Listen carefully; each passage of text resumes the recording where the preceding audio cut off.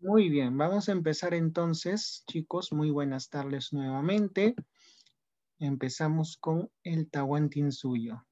Ojalá que la máquina no colapse porque la diapositiva está bien cargada. Ya. Vamos a empezar entonces. Este es el último tema de nuestra primera unidad. Hemos venido durante todo este tiempo estudiando al Perú antiguo. ¿Te acuerdas la primera clase cuando vimos proceso histórico peruano y vimos la periodización de nuestra historia? Y había una etapa que se llamaba etapa autónoma. Con este tema estamos cerrando la etapa autónoma, porque a partir de la próxima semana se va a desarrollar conquista del Tahuantinsuyo. Por lo tanto, ya no es etapa autónoma. Hasta este momento, te habrás dado cuenta que nos hemos enfocado Perú, Perú, Perú. Probablemente a partir de la próxima semana, en las diapositivas que se desarrollen, se incluirán temas de HU, por lo tanto, ambos cursos a partir de la próxima semana van a volverse muy cercanos, muy hermanos. Así que eso va a ser, por un lado, quizás un poco más pesado, pero por otro lado, muy, muy rico, muy productivo, porque se van a poder complementar entre los dos, ya que la conquista significa ese encuentro, ¿no? Entre los dos mundos. Pero hoy día terminamos la etapa del Perú autónomo. El Perú prehispánico, antes de la llegada de los españoles. Tenemos varias cosas que ver. Como lo estaba diciendo hace unos minutos, nos vamos a enfocar netamente en los incas, en sus diversos aspectos, como ven ahí. Hablar acerca de generalidades, aunque no lo creas, en Uni vinieron preguntas que yo llamo preguntas de regalo, para subir el ánimo de la gente, ¿no? Durante el examen vas a ver preguntas, pero recontra sencillas que en un 2x3, en menos de 5 segundos, ya tienen clave. Siempre y cuando prestes atención a la clase. ¿Te acuerdas la semana pasada? Preguntas para nada complicadas. Bueno, el día de hoy hay algunas preguntas que están un poco pesaditas, pero otras que están facilitas. Así que vamos con todo. Semana 8. Tahuantín suyo. Como siempre, última vez que vemos esto, porque a partir de la próxima semana es conquista. Muy bien, empezamos entonces. Recordamos a Chavín, las cabezas clavas, lanzón monolítico, Estela Raimondi, etc. Eso corresponde primer horizonte, junto a la cultura Paracas, no te olvides. Luego viene el primer intermedio. Recuerda que un horizonte es una cultura grande. Primer intermedio, varias culturas pequeñas. El primer intermedio recuerda que también tiene otras denominaciones que ya explicamos en su debido momento. Luego vino segundo horizonte, que también tiene otros sinónimos. En segundo horizonte recuerda que están dos culturas muy importantes que llegaron a coexistir y a entrar en contacto, llamadas la cultura Tiahuanaco y el primer imperio, según Guillermo Lumbreras, Huari. Luego hemos, lo que hemos visto la semana pasada, varias culturas en el segundo intermedio, que yo te recuerdo que te dije que podías recordarlo como el periodo de las culturas que empiezan con Che, menos Chavín.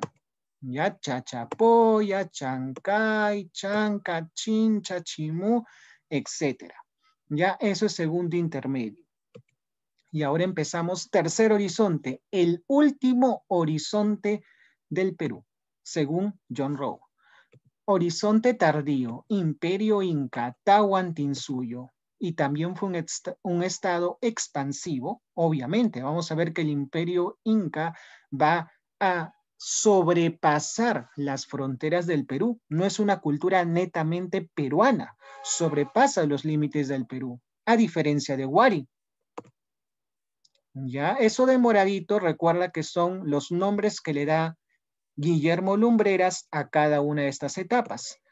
Y lo de verde es lo que vamos a ver el día de hoy. Generalidades. De esta parte número dos titulada Generalidades vino dos preguntas sencillísimas en uni. Vamos a empezar. Primero, la ubicación. ¿Dónde se ubicó el Tahuantinsuyo? Se ubicó obviamente en Sudamérica, en la parte centro-occidental de Sudamérica. Por lo tanto, no llegó más allá, solo en Sudamérica.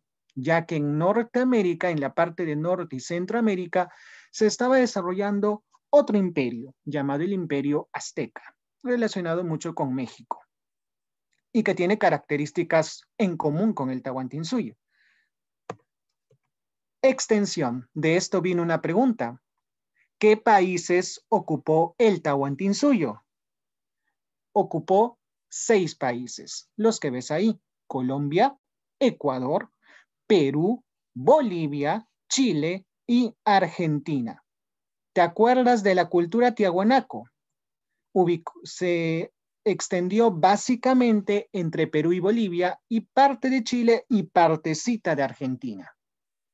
La cultura Wari, el primer imperio andino, se extendió básicamente en territorio peruano. Pero miren, ahora llegamos al tercer horizonte y vemos una extensa franja longitudinal que abarca seis países sudamericanos. Pregunta de examen de admisión 1. ¿Qué más? El Tahuantinsuyo, como era extenso, teníamos que organizarlo. ¿Y cómo se organizó? Dividiéndolo en cuatro regiones. ¿Quién hizo esto? Si por ahí alguien te pregunta, lo hizo Pachacútec. ¿Ya? Si en el virreinato, cuando veas el tema de virreinato, te dicen que Toledo fue el gran organizador del virreinato, el virrey Toledo, en el caso del Tahuantinsuyo, el gran organizador fue Pachacútec, el que inició la edificación de tu querida maravilla del mundo, Machu Picchu. Recordemos entonces los cuatro suyos, que también, aunque no lo creas, fue pregunta de examen de admisión UNI. Los cuatro suyos. Entonces acá está en nuestra imagen los cuatro suyos. Profesor, ¿cómo vino en UNI esto de los cuatro suyos? Te comento, aunque no lo creas, vino un mapa.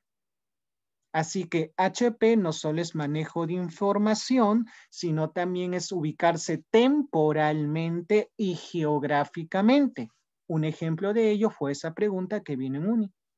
Ya, así que ahí tenemos los cuatro suyos. El y suyo, el conti suyo, miren el suyo más chiquito, el coya suyo y el antisuyo. ¿No? Por ejemplo, por ahí hay una pregunta que nos cuestionan acerca de qué suyo incluyó la parte de ceja de selva, porque recuerda, y lo puedes ver en el mapa, el Tahuantinsuyo no llegó a colonizar toda la selva, solo una partecita. Entonces, esa partecita que llegó a colonizar de la selva el Tahuantinsuyo estuvo dentro de ¿qué suyo? El antisuyo. ¿Ya?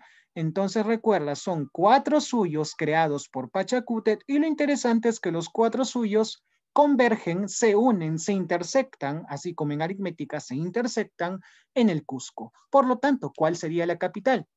El Cusco, como el ombligo del mundo, desde el punto de vista del Tahuantinsuyo, porque bien sabemos que no es que Cusco signifique que está en el centro de todo el planeta, sino que desde el punto de vista de los incas, esa ciudad era el centro del mundo, porque recuerden que ellos en ese momento no sabían que los blanquitos de Europa existían. Ya ellos se creían los únicos en el mundo, junto a los aztecas. Nadie más, nadie más existía en el planeta. Y los europeos, de la misma forma, ellos, Asia, y la parte de África y una parte de Oceanía y nadie más. Ni qué noticia de América. Así era hasta ese momento, hasta que llegó la conquista y ambos se encontraron. Repito, la capital fue la ciudad imperial del Cusco y recuerda que, como era un extenso territorio, teníamos que estar comunicados, conectados. Profesor, ¿cómo se logró ello? Con los caminos del Inca, anteriormente denominados Capacñán. Pregunta de examen de admisión. ¿De qué cultura los incas expandieron y perfeccionaron los Capacñán? Fue de la cultura Wari. No te olvides que en la cultura Wari se establecieron ciudades cabeza de región. Y para que esas ciudades cabeza de región no estén aisladas, ¿qué establecieron? Caminitos para poder conectar esas ciudades. ¿Qué hicieron los incas? Ah, mira, qué buena idea de los Wari, hay que copiarlo. Y los incas lo copiaron, lo remodelaron y lo ampliaron, porque recuerda que los incas fueron más extensos que los Wari, por eso digo que lo ampliaron. Listo, sigamos. ¿Qué más? Constituyó una síntesis de los aportes de sus predecesores. Esto lo hemos visto en la clase pasada, en la última diapositiva hemos visto que todo lo que hicieron las culturas, obviamente lo más importante que hicieron los incas, lo asimilaron. Lo que tú llamas en un lenguaje coloquial, lo copiaron. ¿Qué más? En esta línea se constituyó un estado. Pregunta de examen de admisión. ¿Será que el Tahuantinsuyo fue un estado homogéneo o heterogéneo? La respuesta es recontra heterogéneo. Ya recontra heterogéneo. No puedes decir que todo era un solo bloque unificado, un solo bloque igualitario, ahí está la palabra, sino que eran heterogéneos. ¿Por qué eran heterogéneos, profesor? Porque era un estado multiétnico, pluricultural y multilingüístico. ¿A qué se refiere eso? A que dentro del Tahuantinsuyo existían varios pueblos, varias culturas y por ende varias lenguas. ¿Correcto? Listo. Lengua oficial. A pesar que existían varias lenguas, la lengua oficial del imperio fue el quechua o runacino. Listo. Esto como una información adicional que a lo largo de esos caminitos que llamamos Capacñán o caminos del Inca, para facilitar el transporte existían diversos tipos de puentes que ves ahí. Puentes colgantes, puentes flotantes, puentes de piedra y puentes de tronco sobre piedra. Eso es uno y también existían estructuras acopladas a esos caminos. Por ejemplo, pequeñas casitas donde si tú necesitabas descansar o necesitabas alimentarte, podías quedarte allí.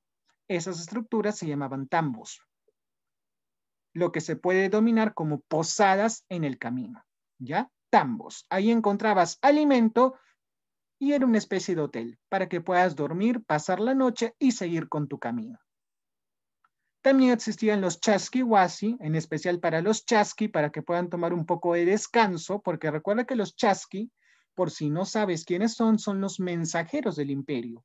Son unos, una especie de atletas, personas preparadas para recorrer grandes distancias en poco tiempo, para llevar mensajes, productos, etcétera y estos chasquis utilizaban estos caminos del Inca para transportarse de un lugar a otro.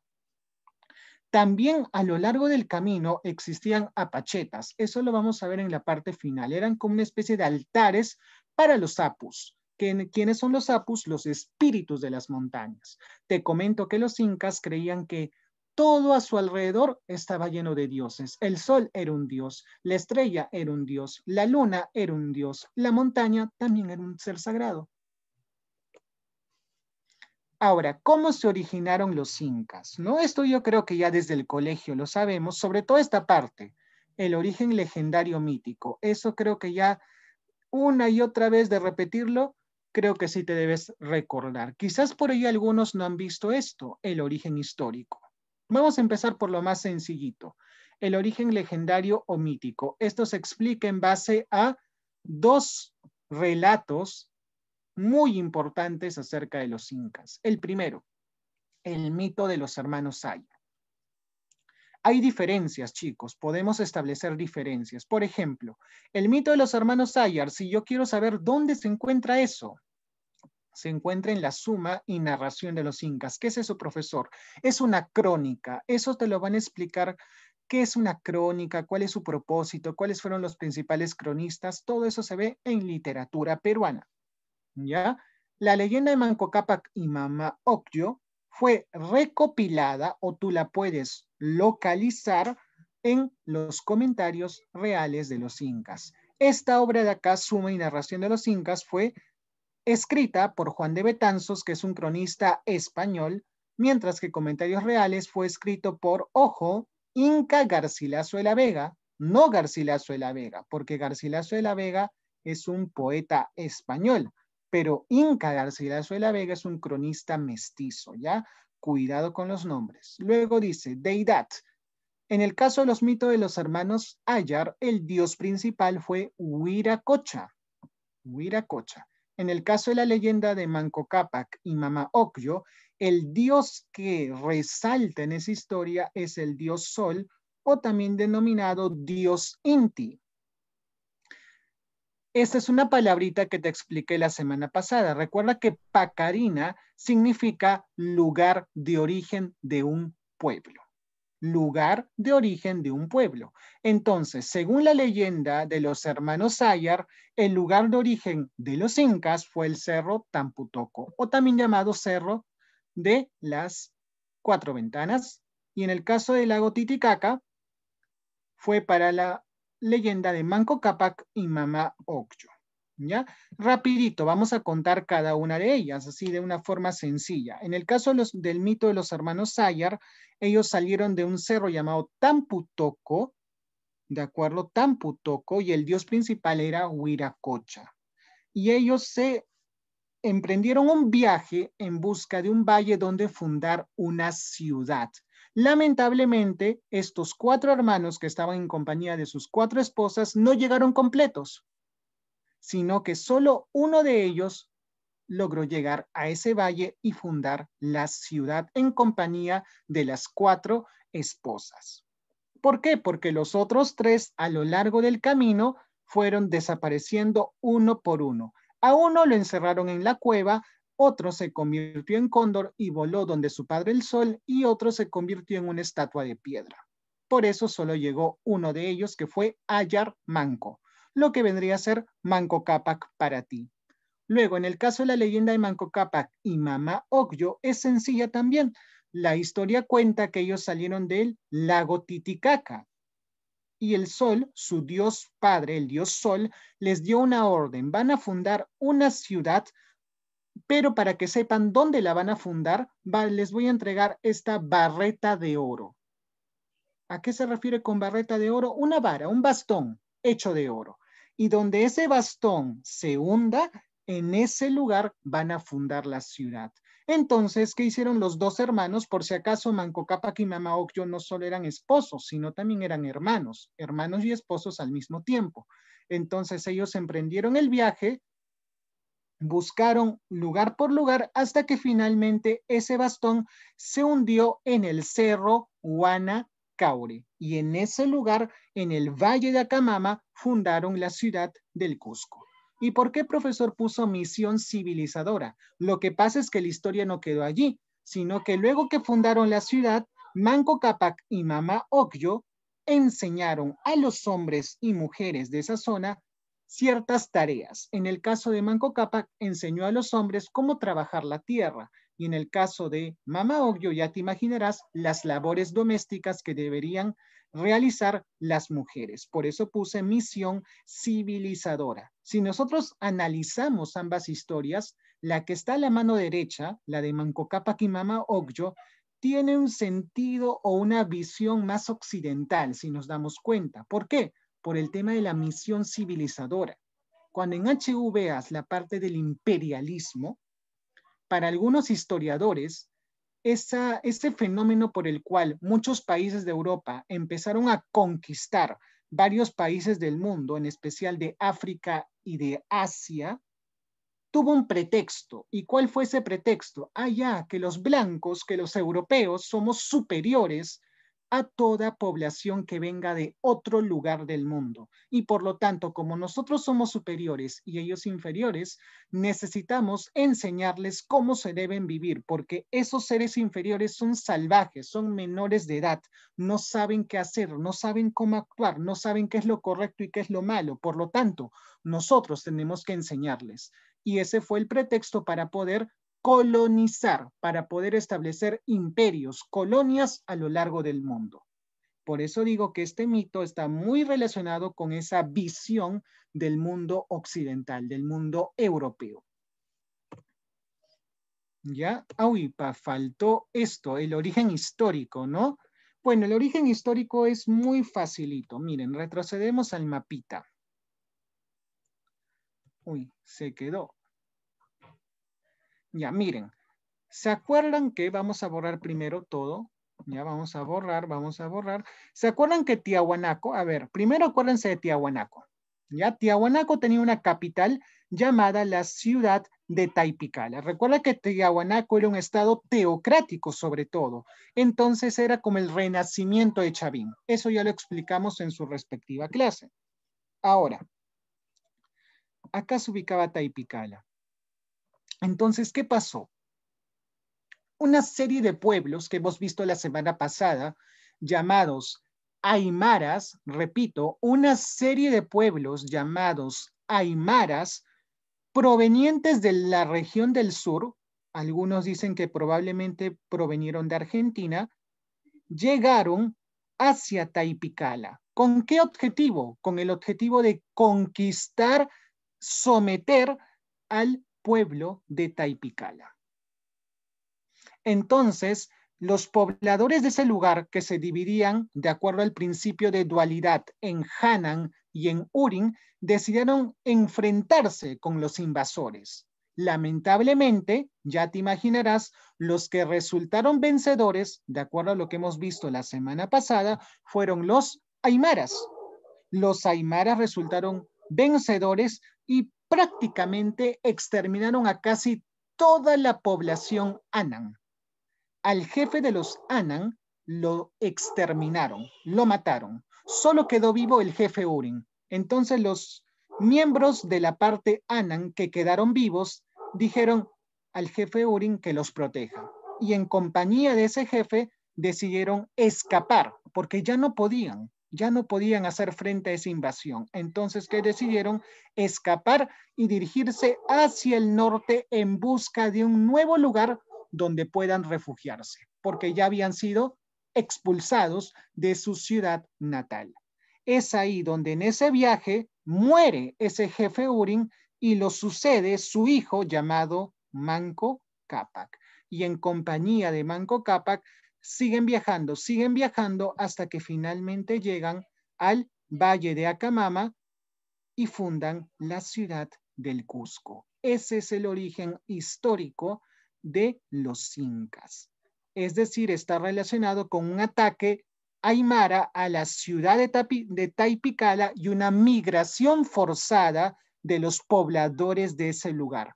Repito, esa ciudad se dividía en dos, Anan y Urin prácticamente los Anan fueron exterminados. Por eso cuando Manco Cápac llega a la ciudad del Cusco, la primera dinastía que gobierna, que ahorita lo vamos a explicar, la primera dinastía que gobierna son los Urin, porque los Anan estaban debilitados luego de esta invasión, porque su jefe, su cabeza, había muerto. Solo quedaba la cabeza de los Urin. Por eso, cuando llegan a la ciudad del Cusco, perdón, cuando fundan la ciudad del Cusco, el primer gobernante va a ser Manco Cápac, un Urin. Tuvo que pasar varios años para que recién un gobernante Anan logre tomar el poder. ¿Ya? Por si acaso, Anan, me refiero a esto, ¿no? Lo puedes leer como Hanan, con H. Hanan y Urin, ¿ya? Profesor, ¿por qué mencionó dos partes? Lo que pasa es que en esa época, y los incas también van a tener ese pensamiento, ellos pensaban que las cosas siempre se tenían que dividir en, dividir en dos partes y que esas dos partes deberían ser a la vez opuestas y a la vez complementarias. ¿Ya?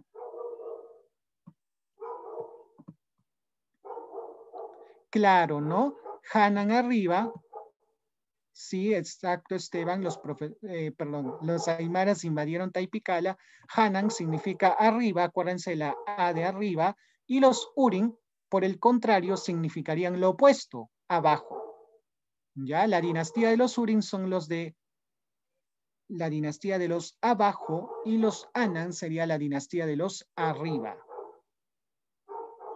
Ya, muy bien, vamos a pasar ya. Entonces ya te expliqué que existen dos formas de explicar el origen de los incas, un origen histórico y un origen legendario. Como dice acá, ¿no? La migración forzada en busca de nuevas tierras de un conjunto de ayllus procedentes de Taipicala. al mando del jefe Urin a Potambo. Así se llamaba ese jefe. ¿Y qué dice acá? Era Urin, porque el jefe Anan había sido asesinado. Y su hijo Manco Cápac tras el ataque de quienes? Los Aymaras. Ese es el origen histórico de los incas. Ahora sí, una pequeña parte de su historia. ¿Cuál fue la historia de los incas? Ahí están todos los incas que gobernaron, desde el principio hasta el final. Manco Cápac, Sinchi Roca, Yoke Yupanqui, ¿correcto? Maita, Maita Cápac, Capac Yupanqui, Inca Roca, Yahuarhuaca, Huiracocha y los que sí o sí debes aprenderte estos de acá. Pachacutec, Tupac Inca Yupanqui, Huayna Capac, uy, acá he invertido el orden, sorry. Huáscar y Atahualpa. Por si acaso acá está mal. Primero debería ir Tupac Inca Yupanqui y luego Huayna Capac. Ya ahí está invertido.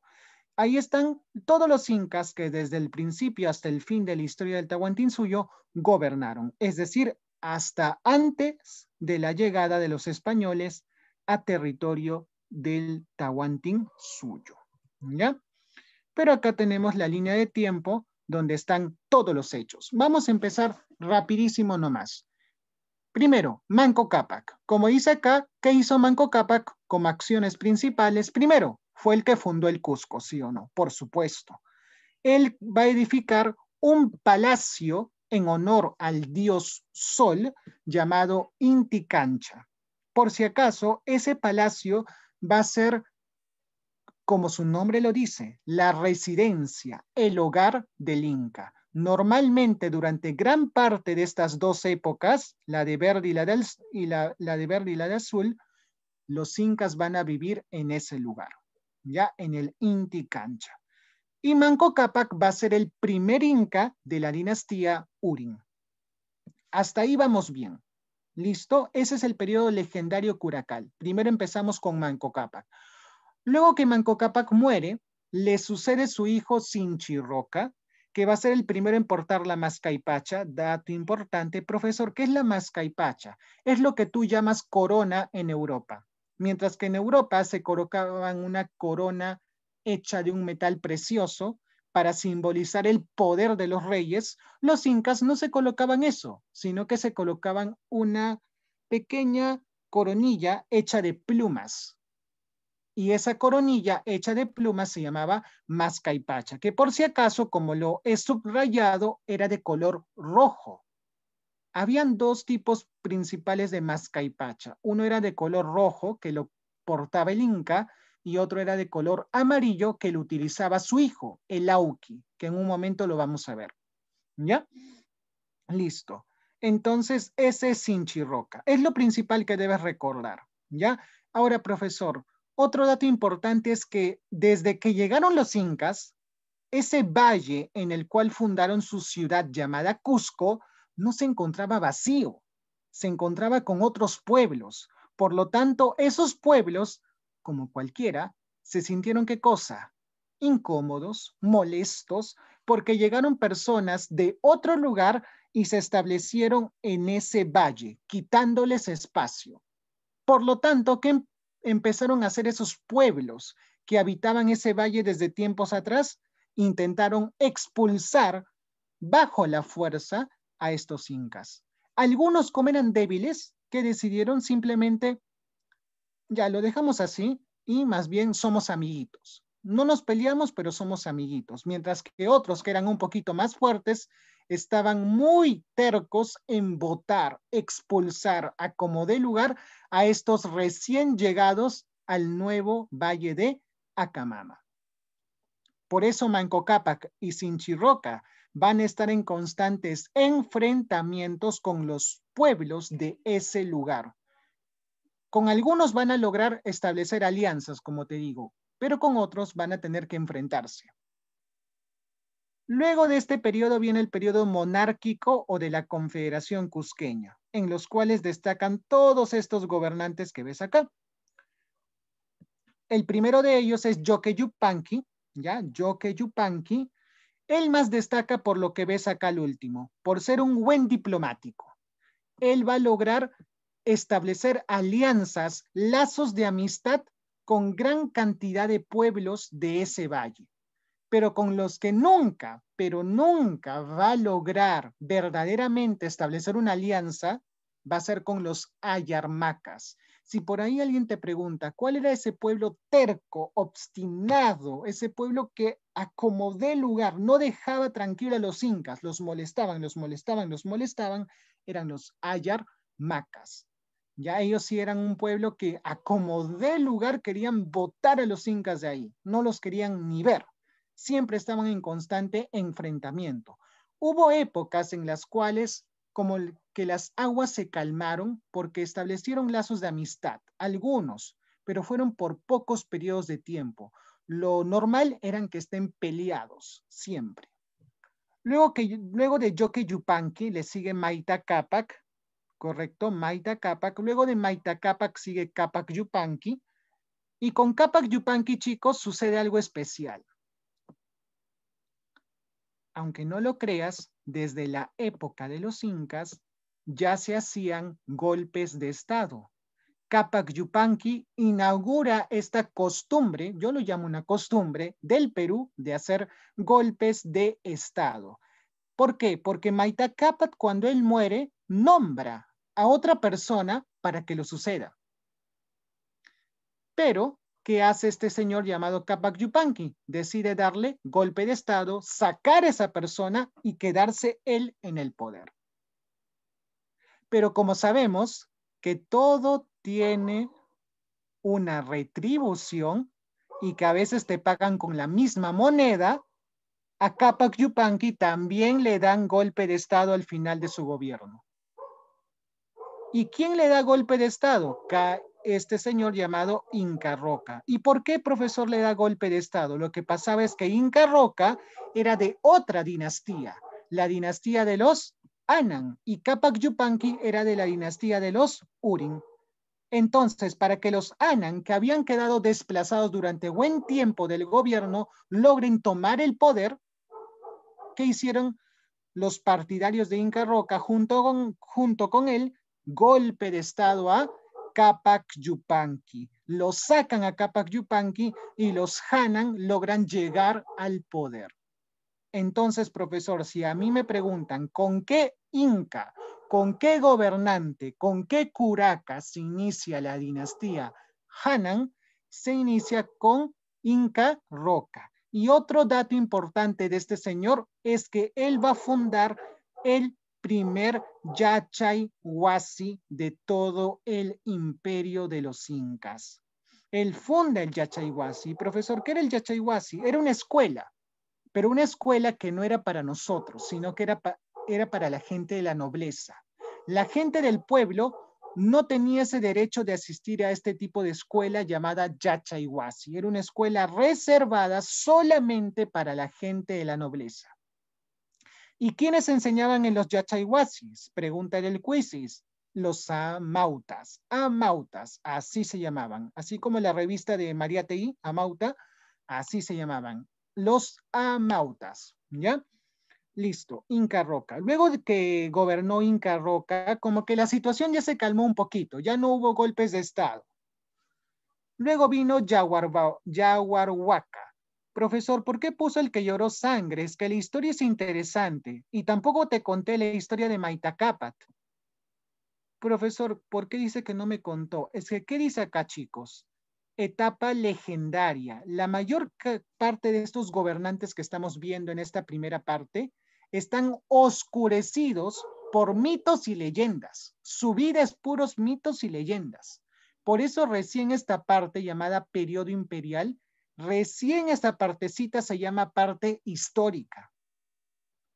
Mientras que toda esta parte que estamos viendo, la parte verde y la parte azul, es una parte netamente legendaria, llena de fantasía. Imagínate que Maitacapat, según cuenta la leyenda, había nacido a los tres meses de gestación.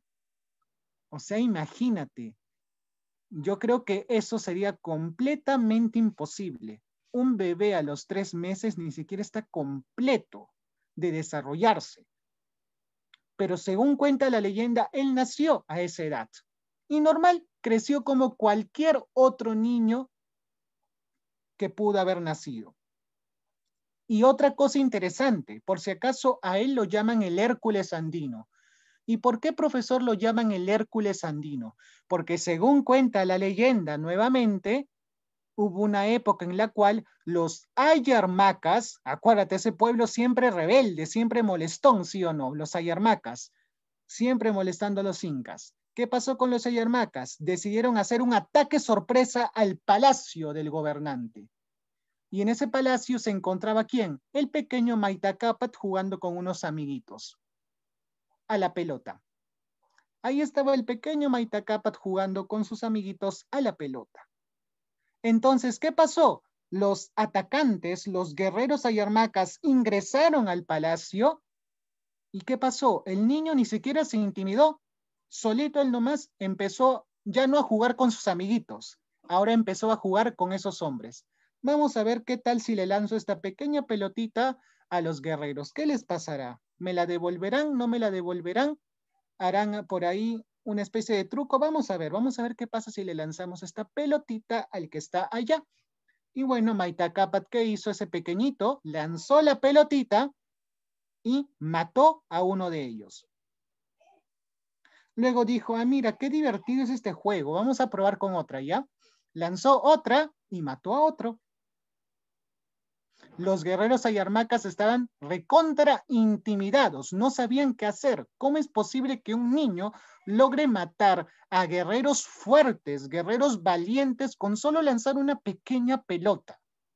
Entonces, ¿qué dijo el pequeño Maitacapat? Vamos a probar una vez más, pero esta pelotita le vamos a poner un poquito más de fuerza. Vamos a lanzar y lanza esa pelota. ¿Y qué pasa? Cuando cae, ya no mata a uno, sino mata a todos los que habían quedado. Entonces, con solo tres pelotitas logró matar a todo el ejército ayarmaca que se encontraba ahí. ¿Por qué crees que lo llaman el Hércules andino? En el caso de Yaguarhuaca, que dice acá que lo llamaban el que lloró sangre, otra vez nuestros amigos molestones, los ayarmacas, esta vez que decidieron, no, no, no, no, no, ese palacio está embrujado. Este palacio está embrujado. ¿Cómo puede ser posible que ese chiquito con tres pelotas me haya matado a todo mi ejército? Entonces, mejor vamos a hacer lo siguiente. Yo sé que ese palacio le da poder a esos descendientes de los dioses. Entonces, ¿qué vamos a hacer? Vamos a asesinarlo fuera del palacio. Vamos a secuestrarlo. Entonces los ayarmacas ingresaron al palacio, secuestraron al pequeño Yaguaruaca, pero cuando ya lo iban a matar, ¿qué pasó con Yaguaruaca? Como su nombre lo dice, no empezó a llorar lágrimas, empezó a desprenderse sangre de sus ojos.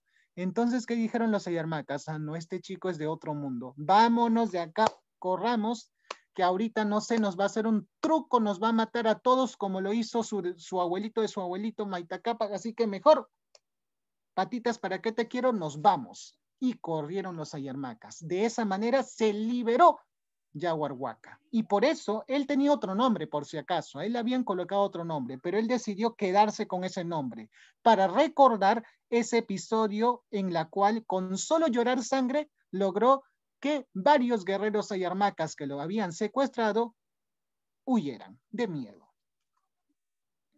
El último gobernante de esta época, Huiracocha, interesante, ¿no?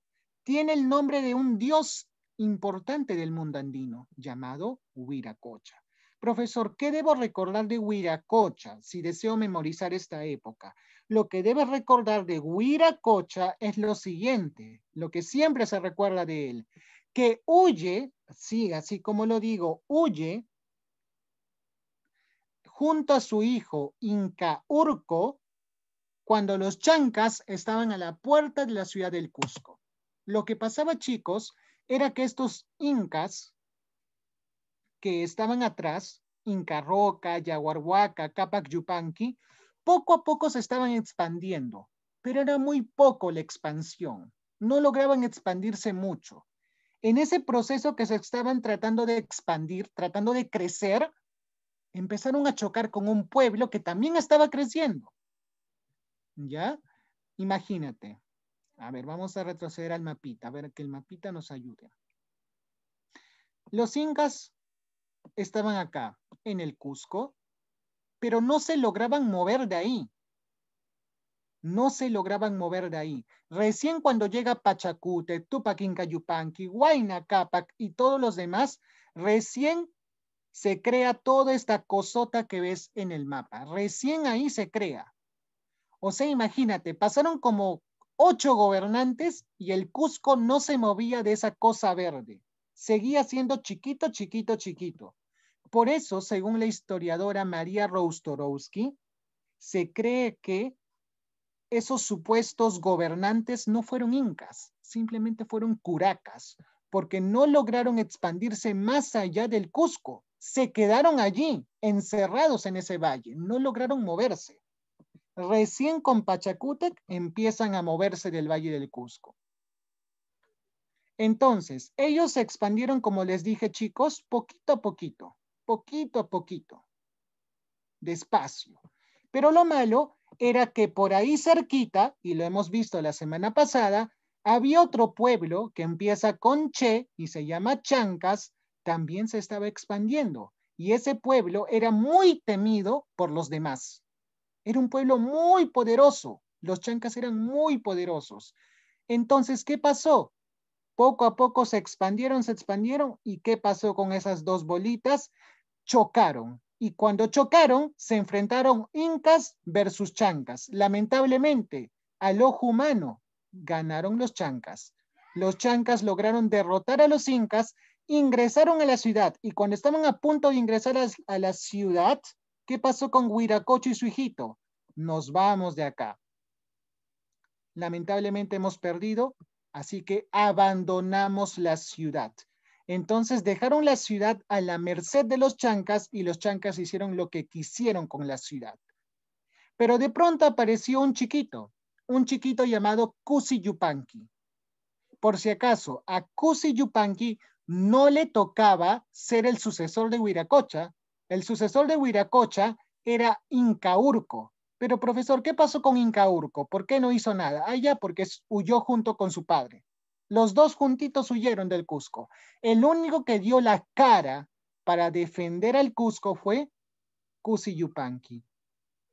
¿Y por qué? Según cuenta la leyenda, él recibió una revelación del dios Sol. El dios Sol se le apareció en la noche y le dijo, no temas, hijo, ve y enfrenta a esos invasores, que la batalla es tuya. Entonces, con esa revelación, Kusi Yupanqui no la dudó y con la aprobación de su padre, el dios Sol, decidió ir y enfrentar a los invasores chancas.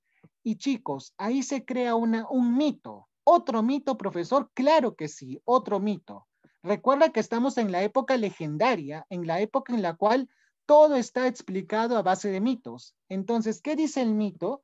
El mito dice que supuestamente este, este chico llamado Kusi Yupanqui ganó la batalla gracias a que las piedras que estaban en las montañas se convirtieron en guerreros y apoyaron y complementaron al ejército de Kusi Yupanqui y de esa manera lograron derrotar a los chancas. Profesor, ¿cómo se llama ese relato? La leyenda de los Pururaucas la leyenda de los Pururaucas. Ya acá está, ahí está el nombre. La leyenda de los Pururaucas, como dice este, este pequeño fragmento, la victoria sobre los chancas fue mitificada, o sea, fue relatada fantasiosamente a través de la leyenda de los Pururaucas, llamados los guerreros de piedra. Las rocas se convirtieron en auténticos guerreros para poder defender la ciudad del avance chanca, del ataque chanca. Pero simplemente fue una leyenda. La cosa fue que Kusi Yupanqui fue tan resistente, su ejército fue tan leal y fiel y tan fuerte que lograron resistir al ataque chanca y los pueblos al ver que había esperanza, ¿qué hicieron? Se empezaron a unir con, con Kusi Yupanqui y junto con todo ese apoyo lograron finalmente derrotar a los chancas. Entonces la gran pregunta es, ¿qué hubiera pasado si eso no hubiera sucedido. O sea, si los incas hubieran sido derrotados, ya no estaríamos hablando de Tahuantinsuyo, quizás estaríamos hablando del imperio Chanca. Así que mira cómo son las casualidades de la historia, ¿no? Estaríamos hablando en esta época del imperio Chanca. Los que hubieran chocado con los españoles probablemente hubieran sido los chancas. Bueno, sigamos. Esta época, chicos, sí se deben aprender. Esto es sí obligatorio, porque esta época es muy importante. ¿Por qué? Porque gran parte de esta información la vas a ver y la vas a volver a escuchar la próxima semana, sobre todo los últimos, ¿ya? Primero, ¿qué pasó con Kusi Yupanqui, profesor? Te comento que luego de su acción heroica, luego de haberse comportado como todo un héroe, como todo un guerrero valiente, su padre tuvo la osadía, la cobardía de no reconocer a su hijo y simplemente decir, no me importa lo que has hecho, igual tu hermano va a seguir siendo el rey y mi sucesor en el trono, así que ni me importa lo que has hecho, ni piensas que te voy a dar el trono por lo que has hecho. Tu hermano Incaurco, que me acompañó hasta el final, él va a ser el que va a sucederme, así que te olvidas del trono. ¿Qué hicieron los nobles que estaban alrededor del Kusiyupanqui? No te preocupes, hijo, que tú vas a ser sí o sí el próximo gobernante del Tahuantinsuyo, acomodé lugar. No vamos a permitir que tu padre delegue el trono a un cobarde. Tú, que demostraste valentía, mereces ser el próximo gobernante. Y así fue. Kusiyupanqui se convierte en el próximo Inca y pregunta de examen de admisión. Kusi Yupanqui se cambia de nombre a Pachacutet y con Pachacutet inicia el imperio. Profesor, ¿por qué con Pachacutet inicia el imperio? Porque, como te dije hace un rato, es a partir de Pachacutet que recién ese pequeño pueblo que tú conoces como Incas se logra expandir. Recién con Pachacutet, porque como te expliqué hace un ratito, hasta Huiracocha, hasta Huiracocha, ¿qué pasaba con los incas? Todavía estaban encerrados en el Cusco, no se lograban, no lograban crecer, no lograban movilizarse, no lograban expandirse. Recién es con Pachacútec.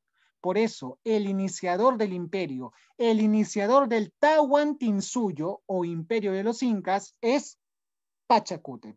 Recuerda, él crea los cuatro suyos, él organiza el imperio, él amplía los Capacñán, él inaugura el quechua como lengua oficial, inaugura el culto al dios sol, consolida la mita, crea los cuatro suyos, amplía los caminos y otro dato más, reconstruye el Cusco, edifica el Coricancha, edifica el Sacsayhuamán, edifica Machu Picchu.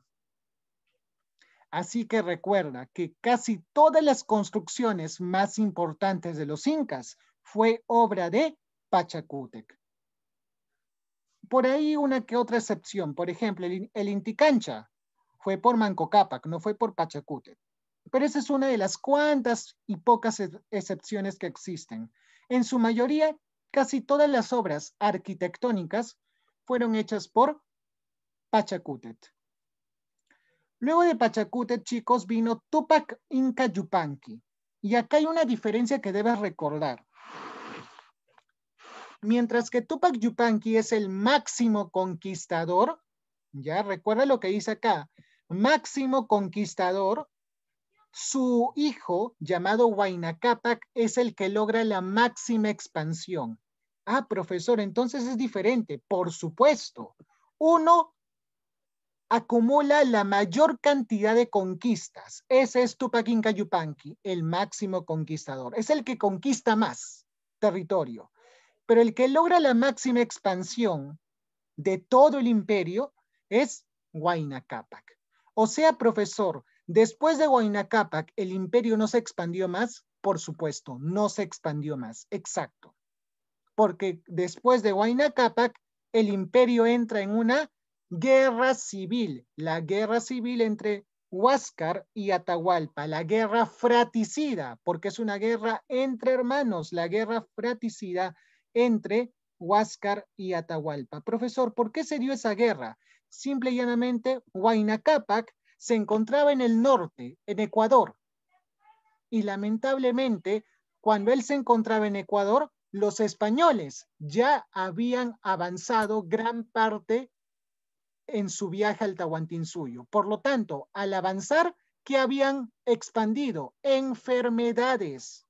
Y al expandir esas enfermedades, una de esas enfermedades, probablemente la viruela, infectó a Huayna Cápac y no solo lo infectó a él, sino lo infectó a su sucesor, llamado Ninan Kuyochi, el que ves en pantalla, el que está casi a la final, eh, a la parte final, este de acá. Ninan Kuyochi. O sea, el Inca y su supuesto sucesor mueren al mismo tiempo de viruela. Por lo tanto, ¿qué se genera?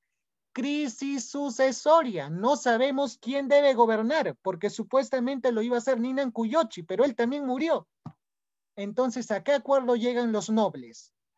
Tenemos que colocar a alguien. El imperio no se puede quedar sin cabeza. Tiene que haber un gobernante.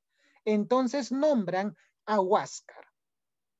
Entonces, profesor, si nombraron a Huáscar como el nuevo Inca, ¿por qué hubo guerra?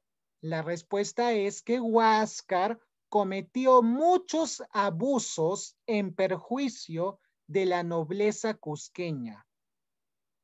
Lo que pasa es que Huáscar intentó eliminar el culto y la importancia de las malquis. En un momento te voy a explicar qué es una malqui. La malqui es una momia del Inca. En esa época, a pesar que el Inca estaba muerto, tenía importancia. La momia realizaba como una procesión del Señor de los Milagros, era adorada, era venerada, era respetada. Pero profesor, estaba muerto. Así pensaban los incas, que tenían que seguir alabando a pesar que su soberano había muerto. Huáscar quiso eliminar esa tradición y por esa y otras acciones más, los nobles le retiraron su apoyo y más bien decidieron apoyar a uno que se trataba de rebelar contra Huáscar. ¿Quién era? Atahualpa. Por eso se produce la guerra entre Huáscar y Atahualpa. Huáscar no supo gobernar bien, entonces la gente decidió apoyar a Atahualpa. Y de esa manera, el Tahuantinsuyo se divide en dos, lo que facilita la conquista española. Ahí están los 14 incas, chicos. Por si acaso, ¿dónde se recopiló estos 14 incas? Estos 14 incas se encuentran en una lista. Esa lista que te indican todos los incas se llama Capacuna. Ahí está en la descripción de abajo. Capacuna se llama la lista de los incas. ¿Ya? Todos estos incas se encuentran en el Capacuna.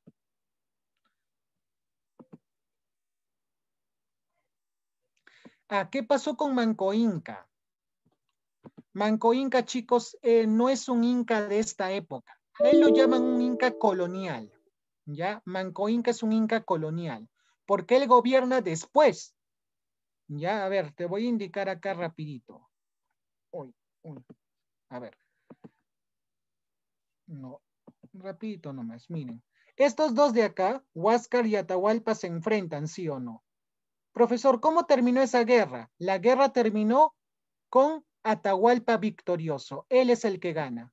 ¿Y quién pierde? Huáscar. Por eso ves que acá Huáscar, ¿cómo lo están dibujando? Preso, porque ha perdido, es un prisionero de guerra. Y al final lo terminan asesinando.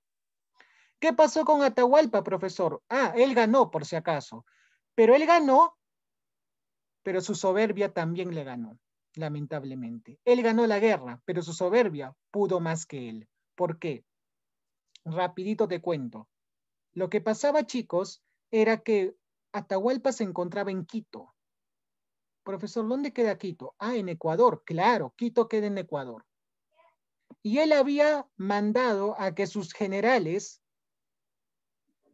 se encargasen de Huáscar. Profesor, ¿y dónde se encontraba Huáscar? Recuerda que Huáscar era el Inca, el Inca que había sido recientemente coronado Entonces, como Huáscar había sido recientemente coronado, se encontraba en el Cusco.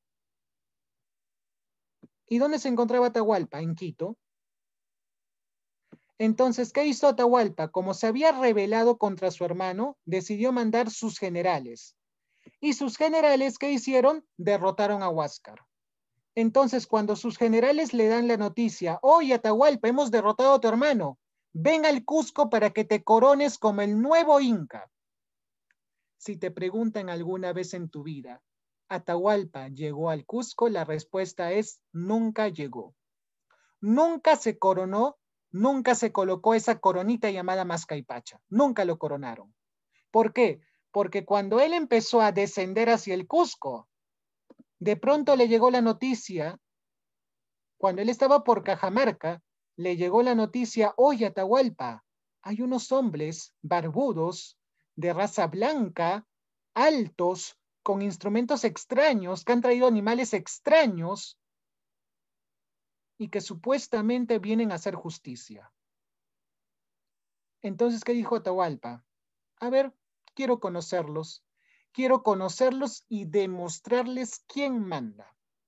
Porque yo sé que con mi sola presencia, estos supuestos enviados de los dioses van a salir corriendo, porque yo soy superior a ellos. Ellos no me pueden derrotar. Yo soy el Inca Atahualpa, el más grande hombre acá en la tierra, y nadie, pero nadie me puede derrotar. Entonces, ¿qué hizo Atahualpa? Lo siento, queridos cargadores, porque acuérdate que los incas se transportaban en literas. Lo siento, queridos cargadores, nos quedamos acá.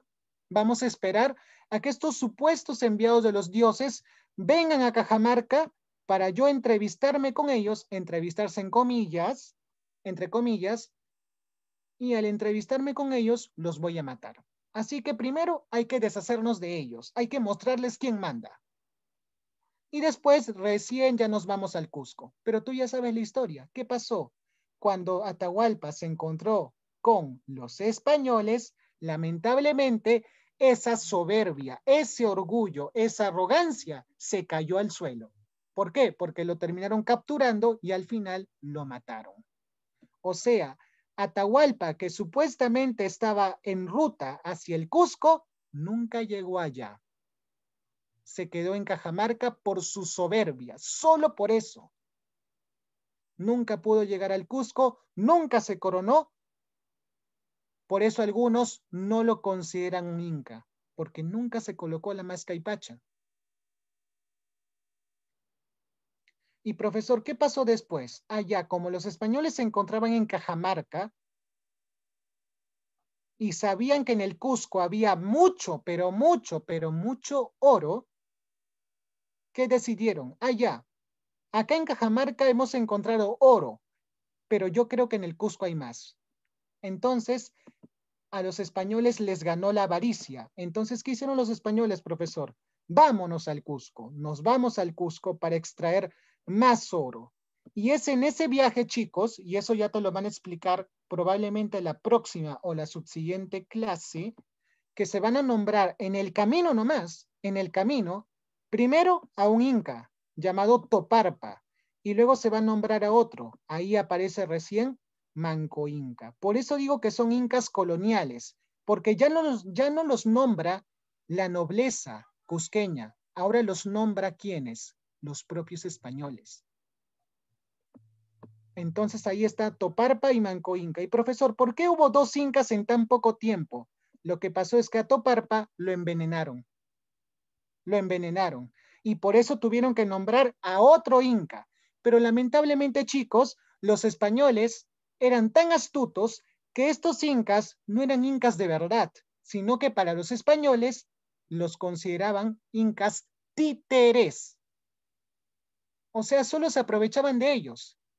Se aprovechaban de ellos para que los indios dijeran, ah, no, los españoles están aliados con los incas, son nuestros aliados, hay que respetarlos. Solo por eso, por una imagen, para que los indios no se rebelen para que sepan que los españoles están con sus reyes. Solo por eso. Pero al final no lo respetaron. A Manco Inca lo van a humillar luego que saqueen el Cusco. Lo van a humillar, van a orinarse encima de él.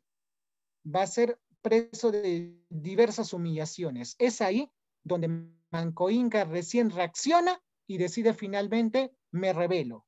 Si primero estuve ciego y no pude ver la realidad y apoyé a los españoles, ahora sí la puedo ver. He visto que han violado mujeres, han saqueado templos, he visto que me han puesto prisionero, he visto que se han orinado encima mío. Esto no se puede quedar así. Estos hombres no son mis aliados. Yo me revelo. Y es ahí donde él se revela en el cerco del Cusco y envía a que también realicen un cerco en Lima. Pero ya no me voy a explayar más porque eso es de otro tema del curso. ¿Ya? Pero más o menos así se realizó esa etapa de nuestra historia. Ya, muy bien, vamos a seguir ya. Uy, el tiempo ha corrido inimaginable. Ya. Muy bien, sigamos. Ahí está la leyenda de los Pururaucas. Ahí está la expansión, chicos, la expansión de los incas. Uy, ¿qué pasó acá? Un ratito, ¿ya? ¿Qué pasó acá? Esta imagen está de más. Ya, acá está. Ahí está la expansión, chicos, de los incas. Cómo se expandió poco a poco durante el imperio. Recuerda que recién se expandieron durante el imperio. Antes del imperio, solo estaban restringidos al Valle del Cusco. La primera etapa de la expansión, ¿quién la hizo, profesor? Pachacútec. Él expandió el imperio toda esta parte. Luego, ¿quién vino, profesor? Luego vino Tupac Yupanqui. Y Tupac Yupanqui, chicos, tuvo dos etapas. Primero, logró conquistas como heredero y luego, y luego logró conquistas como inca. O sea, primero conquistó como Auqui, como hijo del Inca, y luego recién tuvo conquistas como Inca. ¿Ya? Y luego viene Huayna Capac, que logró la conquista final de todo el territorio. Algunos datos puntuales, chicos, para acá, rapidito pasar a la siguiente diapositiva. Primero, ¿quién logró sellar los límites por el sur? ¿Quién llegó hasta el río Biobío o Maule en Chile? Fue Tupac Inca Yupanqui. Y profesor, ¿quién selló los límites al norte? Fue Huayna Capac. Y recuerda, ¿quién logra la máxima expansión? Huayna. Pero ¿quién es el, el que conquista más? Tupac Inca Yupanqui. ¿Ya? Profesor, ¿esa imagen a qué se refiere? Esta imagen hace representación a cuando Atahualpa manda a asesinar a su hermano Huáscar, que ya había sido hecho prisionero. Ya, ¿cuáles fueron las autoridades del imperio? Rapidito. A la cabeza está el Inca como el máximo gobernante. Por si acaso, chicos, el Inca era el hijo del sol y de la luna. Y era tan sagrado, pero tan sagrado, que tenía que ser transportado en literas. No podía ir caminando de un lugar al otro. No podía tocar la tierra. Porque según creían los incas, si este señor, que era sagrado, tocaba la tierra, producía terremotos y si era tan sagrado que cualquier cosa que tocaba lo convertía en sagrado. Por lo tanto, no era cualquier individuo, era el hijo de los dioses, era el intermediario entre los dioses y los hombres. Recuerda, ¿de qué color era su pacha? De color roja. Luego viene el Tahuantinsuyo Kamachic. En una sola frase, ¿qué es el Tahuantinsuyo Kamachic? Es el Consejo Imperial. No entiendo, profesor rapidito, lo que tú hoy llamas Consejo de Ministros, eso era el Tahuantinsuyo Camachic. Luego, el Apunchic. Profesor, ¿quién era el, el Apunchic? El Apunchic era el jefe de una provincia. El Apunchic era el jefe de una provincia del imperio.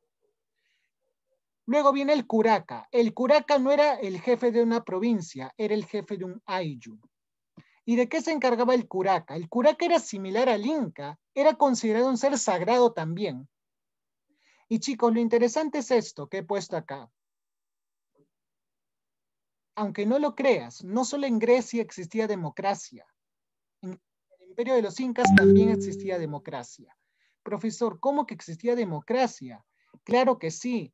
Los propios miembros del Ayllu decidían quién iba a ser el próximo curaca.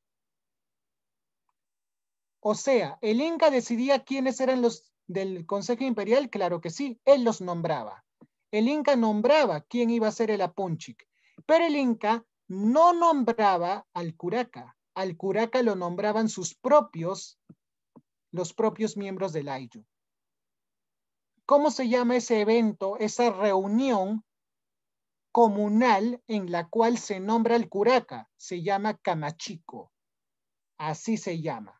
¿Ya? Camachico. Una reunión entre los miembros del Ayllu en la cual se elige al próximo curaca de ese Ayllu. Otro datito importante, el Auqui, que era el hijo del Inca, que iba a ser su sucesor, cogobernaba con su padre. Profesor, ¿qué significa cogobierna con su padre? Lo que pasa, chicos, era, era lo siguiente. El Inca creía que su hijo tenía que cogobernar con él. ¿Para qué? Para que ese hijo gane experiencia, para que cuando le toque gobernar ya esté preparado, ya conozca cómo son las cosas, ya esté experimentado. Eso era la tradición. Acá tienes otras autoridades. ¿Quién era el Apusquipay? Era el general de los ejércitos.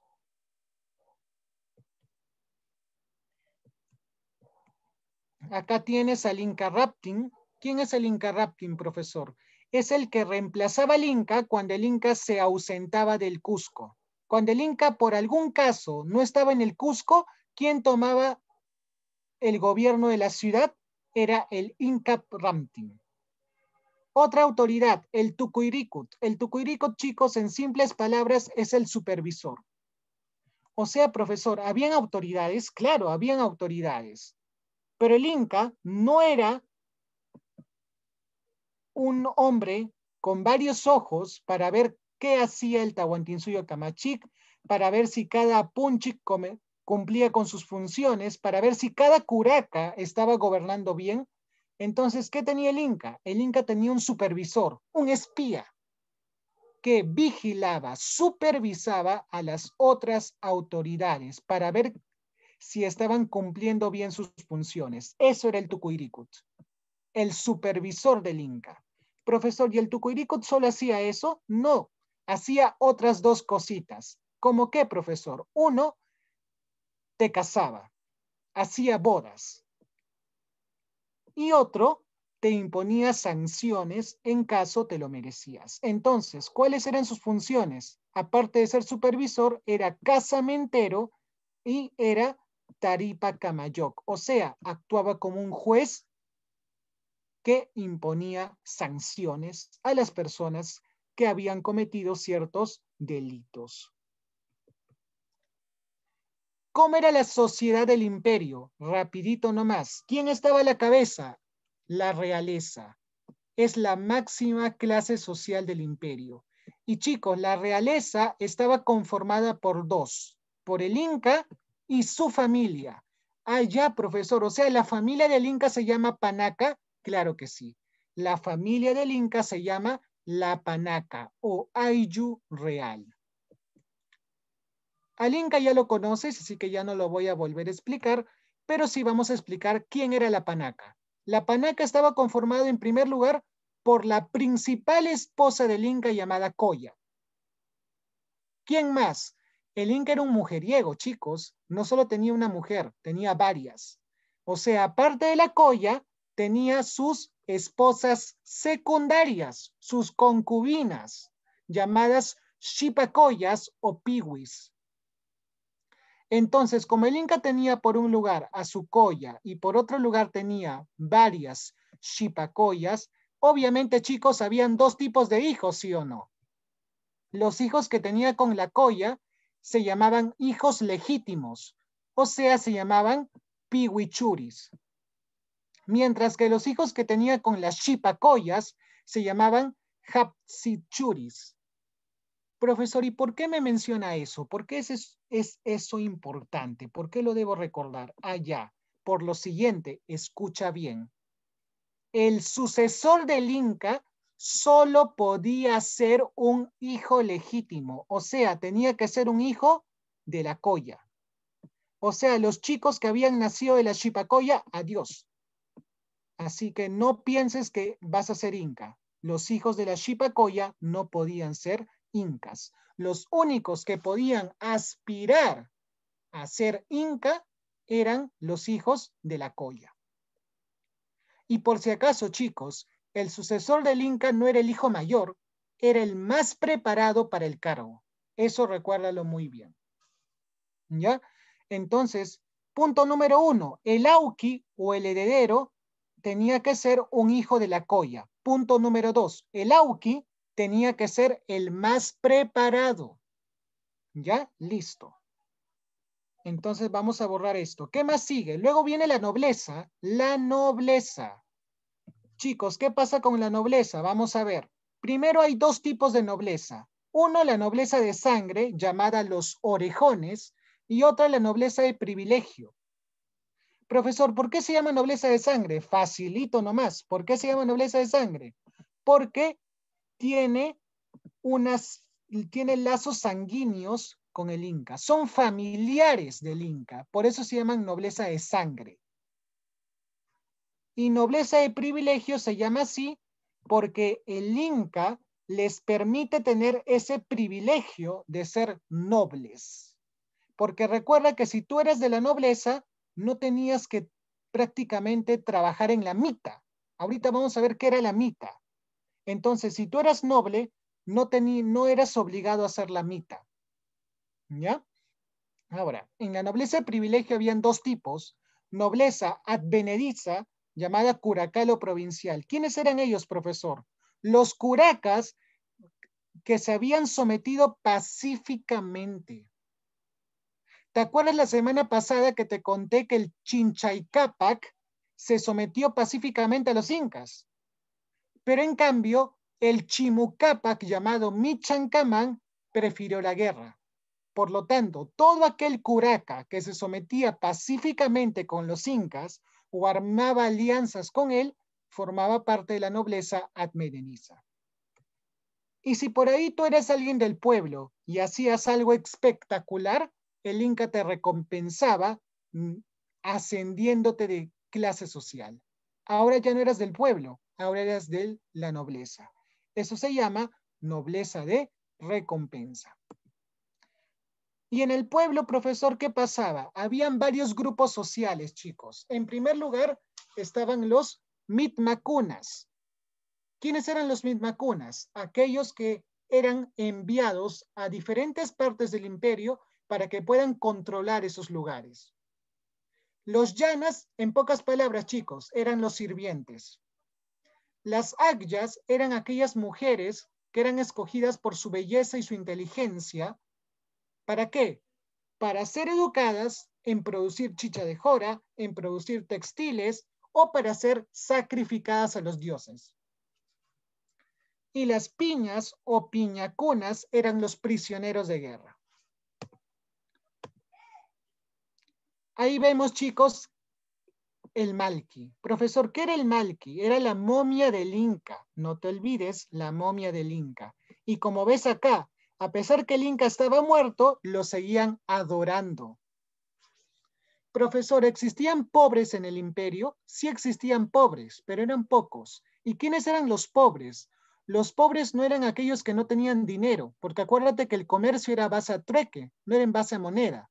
Los pobres en el imperio eran aquellos que estaban huérfanos, que no tenían familia. Y ahorita lo vas a entender por qué. Esto es una parte feita. ¿Por qué? Porque en el imperio existían prostitutas. Aunque no lo creas. Profesor, ¿y para qué? Lo que pasaba es que como cualquier, bueno, así se pensaba, ¿no? Que como hombre, y es un pensamiento erróneo, un pensamiento machista, que como hombre tiene pues sentimientos de, querer tener relaciones sexuales. Entonces, para que no violen a las mujeres del pueblo, hay que tener estas reservas, estas mujeres públicas llamadas mitawarmis o pampairunas, ¿ya? mitawarmis o pampairunas. Así se llamaban estas mujeres prostitutas. Lamentablemente eso existía en el imperio, lamentablemente.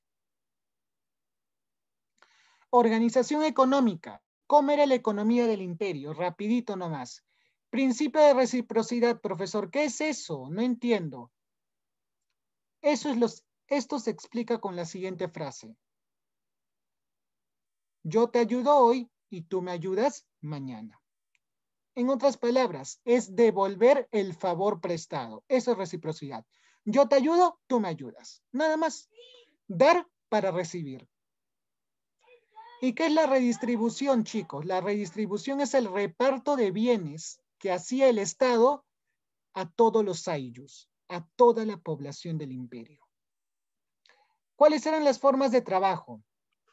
Acá presta atención un ratito. Mira, habían cuatro formas de trabajo. El AINI. Profesor, yo nunca me he aprendido cómo memorizar esto. Ya mira, AINI empieza con AI. Eso me hace acordar a la frase ayuda mutua, que también, que también empieza con AI. Luego viene Minca. Acuérdate la K. La K de Minca, que viene de la palabra comunidad. Minca, comunidad. ¿Ya?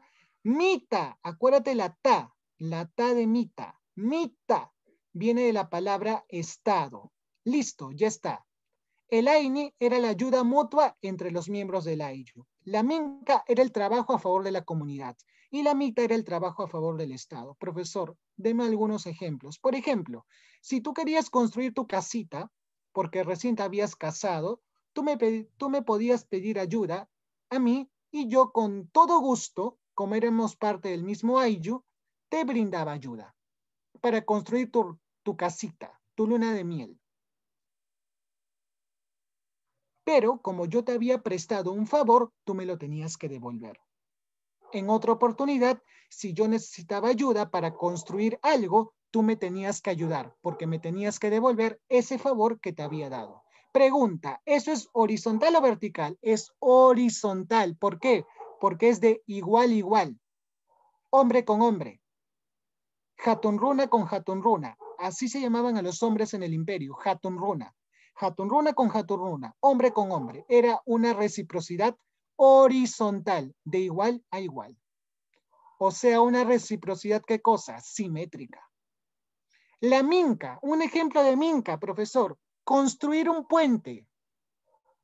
Claro, un puente no solo te beneficia a ti o a tu vecino, nos beneficia a todos. Por eso es un trabajo a favor de la comunidad. Beneficia no a ti, no solo a tu familia, a toda la comunidad. Y profesor, un trabajo a favor del Estado, ah, por ejemplo, construir el Capacñam. Eso beneficiaba a todo el imperio no solo a ti, no solo a tu familia, no solo a tu comunidad. ¿Ya? Entonces, esos eran los tipos de trabajo. Había uno más, llamado chunca, que era en caso de desastres naturales. Si por ahí había una catástrofe, un desastre natural, una emergencia, se pedía que las mujeres colaboren trabajando, lo que se llama chunca. Eso, por ejemplo, chicos, sucedió durante la Segunda y la Primera Guerra Mundial cuando gran cantidad de hombres, de varones, fueron a la guerra y qué pasó con las industrias. Se quedaron vacías, se quedaron sin trabajadores. Entonces, ¿qué hicieron? Las mujeres tomaron el lugar de sus maridos. Eso pasó durante las dos guerras mundiales. Tipos de tierra. Habían tres tipos de tierras. Las del Estado que pertenecían al Inca y la nobleza. Repito, las del Estado pertenecían al Inca y a la nobleza. Las tierras del sol pertenecían a cada uno de los dioses y las tierras del pueblo pertenecían al pueblo, pero entre comillas. ¿Por qué? Porque eran tierras prestadas. Rapidito te comento. Lo que pasaba, chicos, era lo siguiente. Imagínate, ¿no? yo me voy a poner de ejemplo. Ya, Pedro se casa, no sé, con Alexandra. Ya, Pedro en esa época se casa con Alexandra. Y, las y los dos, perdón, forman un hogar. Entonces, ¿qué hace el Estado? El Estado nos va a entregar en calidad de préstamo un topo y medio. Profesor, ¿qué es topo? El topo era la unidad de medida de la Tierra. Entonces, yo que me había casado con Alexandra, me dan un topo y medio. ¿Por qué me dan un topo y medio? Allá, lo que pasaba era que el Estado daba a cada hombre un topo y a cada mujer medio topo. Por eso nos dan un topo y medio. Ahora, ¿qué pasa si nosotros queremos tener familia y tenemos un hijo varón? Como nos nació un hijo varón, el Estado que nos da un topo más. Ahora, ¿qué tenemos? Dos topos y medio. Y si tenemos una hija mujer, nos daría medio topo más. ¿Cuánto tendríamos? Tres topos. De esa manera se hacía. Y profesor, ¿qué pasaba cuando la persona moría? Cuando la persona moría, ese topo que se le había entregado de, volvía al Estado. El Estado se lo regresaba. Por eso dice que era en calidad de préstamo, chicos. El pueblo no se lo quedaba. No era que el pueblo se lo quedaba y se lo dejaba a su hijo y el hijo al nieto y así. No. Una vez que la persona moría, esa tierra volvía a propiedad del Estado. Acá vemos algunas herramientas que se utilizaban en esa época. Profesor, ¿cuáles son las dos más importantes? Estas de acá. La raucana, que era el arado de mano, arado de mano, arado sin H, y la chaquitacya, que era el arado de pie. Por si acaso, esas herramientas ya existían antes del Tahuantinsuyo. Profesor, ¿qué es una colca? Una colca es un depósito del Estado. Un depósito del Estado. Y en esa colca trabajaban dos personas, el colca mayoc y el kipuca mayoc. Esto tú ya lo conoces, ¿no? Los guaruguaru que eran, chicos, las chacras elevadas. ¿Te acuerdas? Tema de Tiahuanaquiwari cómo se creaba un microclima. El agua absorbía el calor durante el día y durante la noche liberaba el calor para que el cultivo se abrigue del frío, se abrigue de las heladas, se proteja y no muera. Los andenes recuerdan que eran mesetas en las laderas de los cerros. Profesor, ¿me puede hacer recordar cuáles eran los beneficios de los andenes? Claro que sí, rapidito nomás. Uno, que ampliabas el campo de cultivo. Ahora ya no solo cultivabas en esta parte, ahora también podías cultivar acá. Ese es un beneficio. Otro beneficio era que al cultivar de esa manera, limitabas la erosión del suelo. Y si limitas la erosión del suelo, evitas que se produzcan huaicos. Y por lo tanto, aprovechas mejor el agua. Eso eran los beneficios de los andenes. Por ejemplo, chicos, acá vemos dos andenes muy famosos. Los andenes de Pisac, que son los de la mano derecha, y los andenes de Moray. Y estos andenes de Moray, según algunos historiadores, funciona como un laboratorio agrícola, porque permite cultivar plantas a diversas alturas. Tú podías cultivar una planta acá abajo y de pronto podías cultivar otra acá. Y de esa manera, chicos, los incas podían verificar hasta qué altura podía crecer una planta. Eso lo vas a ver en geografía, en el tema ocho regiones naturales. Ahí te van a mencionar que en cada región natural existe un producto límite, es decir, un cultivo que solo hasta esa altura podía crecer. Si tú lo cultivabas a más altura, moría, no soportaba, no se adaptaba. Listo. Sigamos, sigamos. Rapidito nomás. En cerámica, chicos, destaca esto, el aríbalo. Esa fue la cerámica característica de los incas.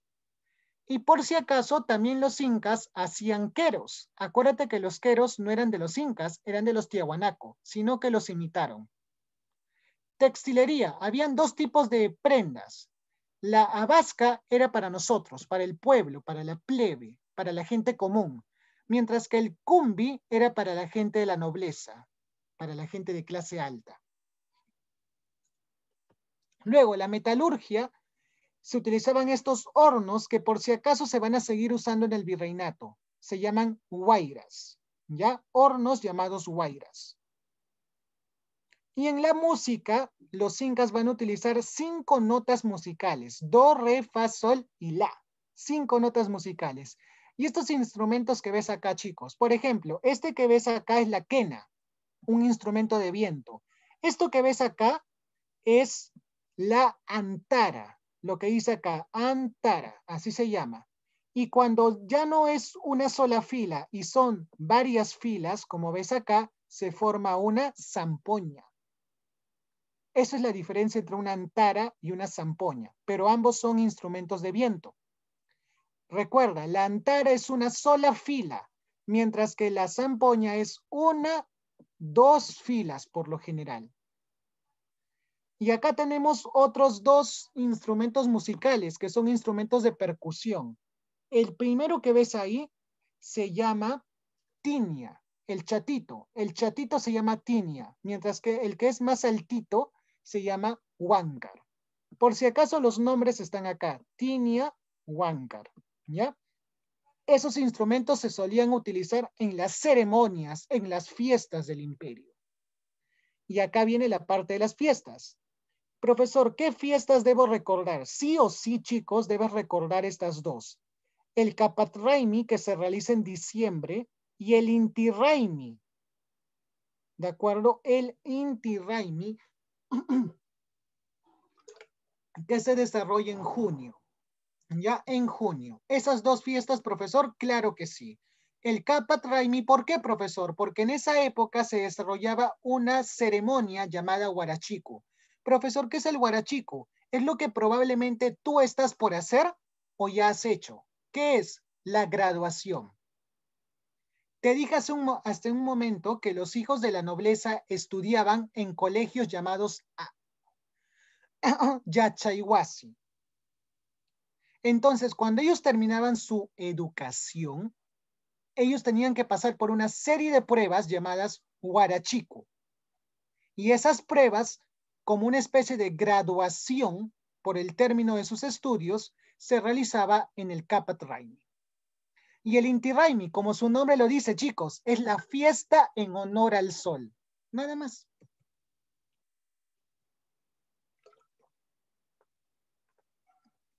Chicos, em, como este tema es larguito, nos vamos a demorar un poquito, ¿ya? Así que si por ahí tienes unas cositas que hacer, no importa, normal, puedes retirarte. A ver, un ratito te voy a pasar el link, ¿ya? por si deseas ya retirarte a los chicos, porque también entiendo que la clase termina a las 4. Y con los que desean quedarse, rapidito vamos a terminar y resolver algunos problemas, ¿ya? A ver, ahorita les paso el link. Denme un minutito, porfa. Para los que, por, porque también entiendo, yo también me pongo en el lugar de ustedes y también entiendo que tienen algunos asuntos ya planteados que hacer con anterioridad. Así que les voy a pasar el link de un minuto y con, los y con los que desean quedarse vamos a terminar el tema. A ver, igual el tema va a quedar grabado, no se preocupen. Solo que, como siempre, hay que preocuparnos por la asistencia y no quiero perjudicarlos para nada. Así que ahorita les paso junio. Ah, no, esto no es. Un ratito, ¿ya?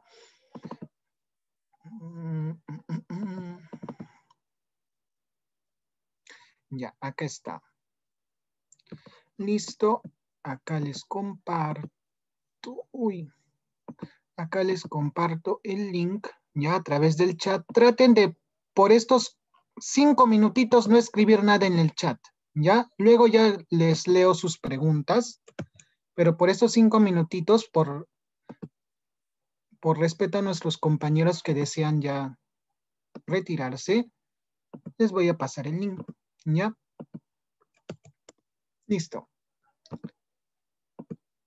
Ahora sí, continuamos. Ya vayan, mm, vayan respondiendo y ya nos vemos en una oportunidad, si Dios quiere. Ya. Ahí van respondiendo ya, chicos. Y los que desean quedarse, me esperan nomás que vamos a terminar esto rapidito, ¿ya? Chicos, la educación en el imperio, ¿cómo era? Profesor, era elitista y clasista. Obviamente, claro que sí. ¿Por qué? Porque la nobleza solo podía estudiar. Y profesor, el pueblo, ¿qué pasaba con el pueblo? el pueblo recibía una, una educación práctica, o sea, el papá enseñaba al hijo y ahí quedaba la educación. El hijo no podía ir a un colegio porque solo los hijos de los nobles iban al colegio. ¿Y cómo se llamaba el colegio, profesor? Yachaihuasi. ¿Y quién enseñaba en ese colegio? El amauta. El amauta. Así se llamaban los profesores de esa época. Los amautas. ¿Ya? Los amautas. Entonces, recuerda que eran centros de enseñanza para los hijos de los nobles. Profesor, ¿había otro tipo de centros educativos? Claro que sí. Había uno llamado Agyawasi. ¿Y por qué se llama Agyawasi, profesor? Porque ahí estudiaban las Agyas. ¿Y quiénes eran las Agyas? Las mujeres escogidas por su belleza o su inteligencia. Y eran mujeres tanto del pueblo como de la nobleza. ¿Y quién era la maestra de ahí? Era la mamacona. ¿Y qué les enseñaba a hacer la mamacona? Como ves en la imagen, pues, les, les enseñaba a coser, principalmente a coser y a preparar chicha de jora. Y eso, y esos objetos, esos vestimentas que tejían, servían para el imperio. O sea, profesor, si en un examen me pregunta, ¿los Agyawasis fueron centros de producción textil? Claro que sí, porque producían vestimenta para el imperio. Eran centros de producción textil. Ah, por si acaso, un dato más, chicos. En el imperio solo existía un, un Yachaihuasi y estaba en el Cusco. No existía ninguno más, solo uno. Mientras que los Agyawasis eran varios. A lo largo del imperio existían varios Agyawasis. Ya, varios. Pero el Yachaihuasi era uno solo. Eso recuerda muy bien, es un dato curioso, puede venir en una pregunta quizás. El Yachayhuasi era uno solo, mientras que el Agyawasi eran varios. Ah, por si acaso, acá, me, acá se, me, se me pasó colocarlo. El Yachayhuasi se le llama la casa del saber. Si deseas, por ahí lo puedes apuntar. Yachayhuasi, casa del saber. Y el Agyawasi se llama casa de las escogidas. ¿Ya? Y recuerda que el pueblo, cómo se educaba, era una educación familiar y práctica. ¿Por qué? Porque el papá enseñaba al hijo a cómo trabajar. Nada más. Solo los nobles se educaban en los yachayhuasis a cargo del amauta. ¿Cómo era la arquitectura, profesor? Facilito nomás. Era sólida, pero sencilla. Mira, utilizaban bloques de piedra que encajaban perfectamente, chicos. Eso es lo bonito de los incas. Utilizaban bloques de tierra que podían encajar perfectamente, como ves ahí en la imagen. Bloques de piedra, generalmente de forma cuadrangular, ¿ya? Pero mira, encajaban perfectamente y han resistido todos estos años. Si tú vas al Cusco, vas a ver que todavía siguen de pie a pesar que han sucedido terremotos, desastres, todo, siguen en pie esas construcciones. Por eso te digo, a simple vista parecen sencillas, sí o no. Colocar piedra sobre piedra parece sencillo, pero es fuerte y sólido. Acá hay tres construcciones, escúchame bien. Esta ya la conoces, recontra conoces, Machu Picchu. Esta de acá se llama Sacsayhuamán. Esto lo vas a ver cuando hablen de Manco Inca en las próximas semanas, de Manco Inca. Te vas a recordar del Sacsayhuamán. ¿Y esto, profesor, qué es? Esto parece una iglesia. Sí, chicos, te comento lo que pasaba en esa época. Lo que pasa es que cuando los españoles llegan, ven que los indígenas, que los indios, no dejan de adorar a sus dioses, siguen adorando imágenes, dioses paganos, etcétera. Entonces, ¿qué hacen los españoles? Allá. Si no quieres cambiar a las buenas, vas a cambiar a las malas.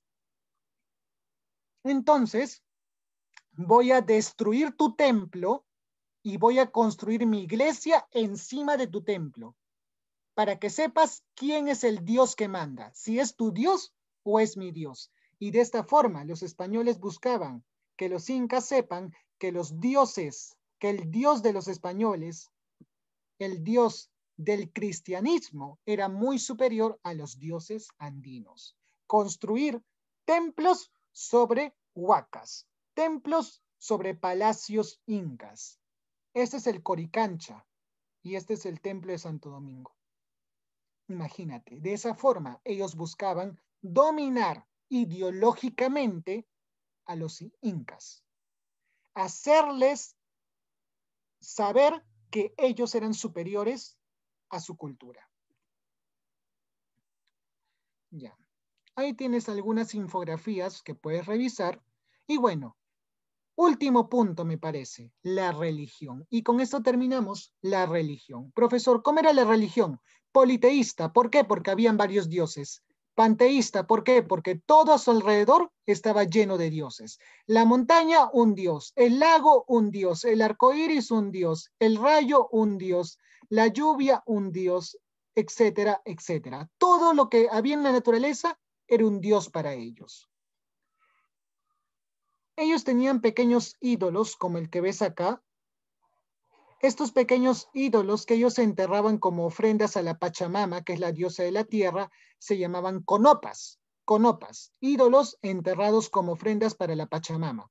¿Ya? Conopas. Luego tenemos los apus. ¿Qué son los apus, profesor? Son los espíritus de las montañas. El apu, los espíritus de las montañas. Y las apachetas, que te mencioné al inicio, son altares en los caminos para adorar a los apus.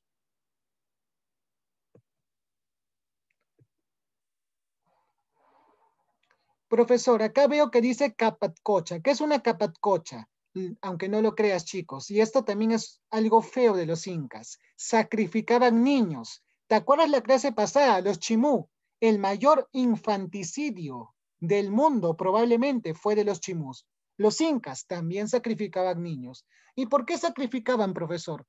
Ah, para tener éxitos en sus guerras, uno, o también para darle éxito al nuevo inca que entraba a gobernar. Habían dos principios que gobernaban la cosmovisión andina. El primero era la dualidad y el segundo era la complementariedad. Esto ya te lo expliqué una y otra vez, chicos. En pocas palabras, ¿a qué se refiere esto, profesor? Se refiere a que siempre van a existir dos cosas que son opuestas. Por ejemplo, blanco y negro. Pero a pesar que son opuestas, se complementan. Piensa en el yin y el yang de la China. Y con eso te digo todo. ¿Te acuerdas esa imagen? Ese círculo en el cual encajan perfectamente ambos dibujos, el yin y el yang. A pesar que son opuestos, uno blanco, otro negro, uno representa una cosa y el otro otra, se complementan perfectamente. Eso es dualidad y complementariedad, los dos principios de la cosmovisión andina.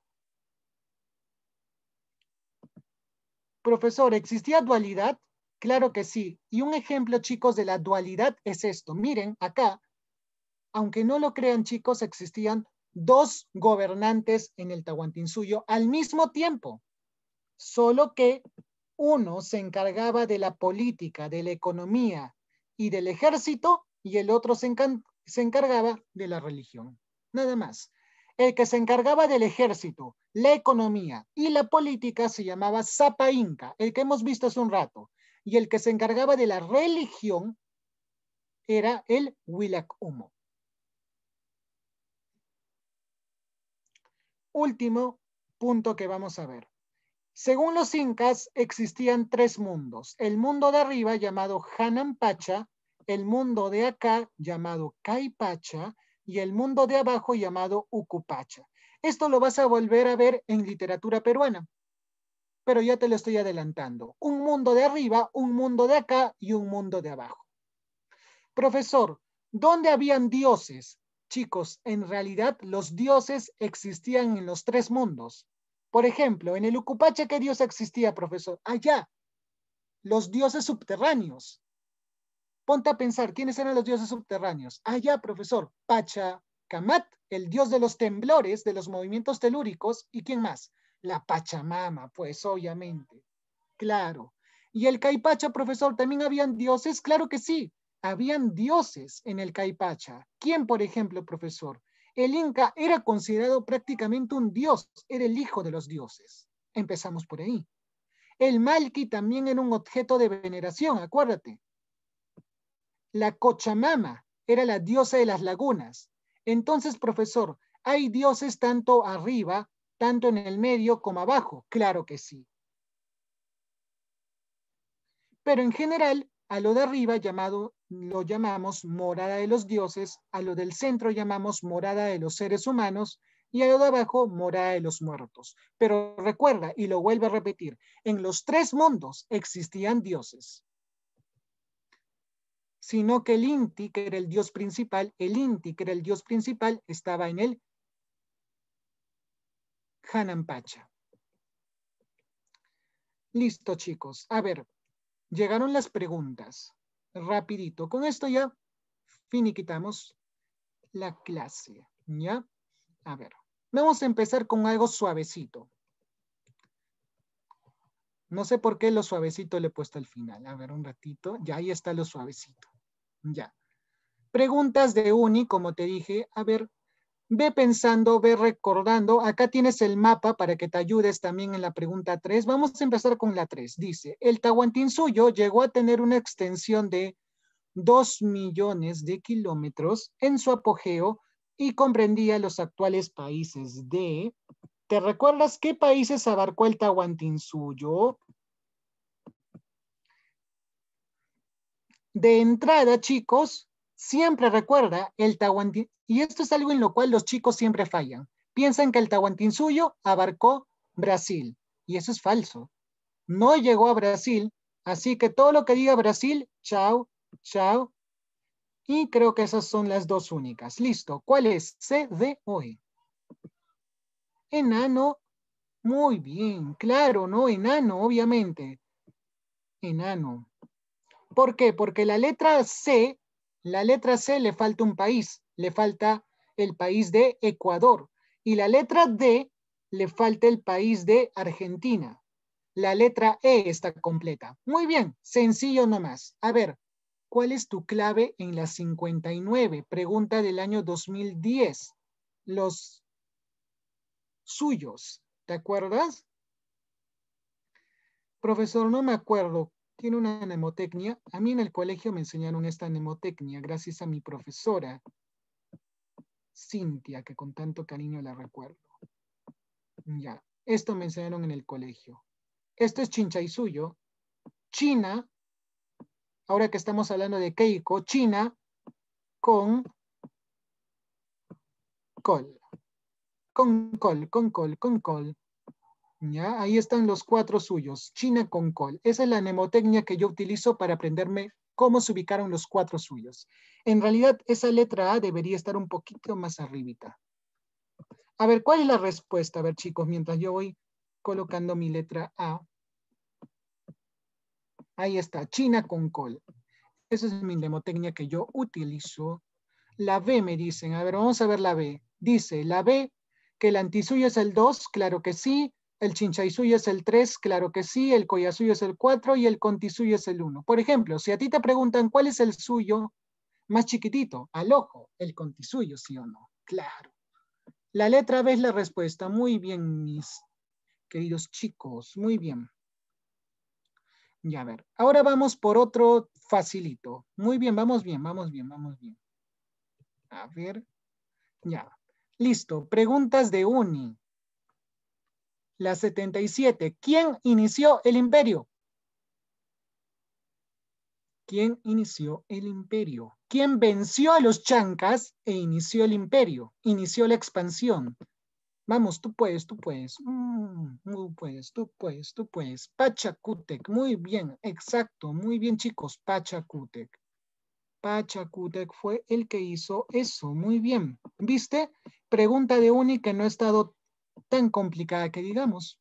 Ha estado accesible, si tú lo puedes ver. Pachacutec, muy bien. Listo.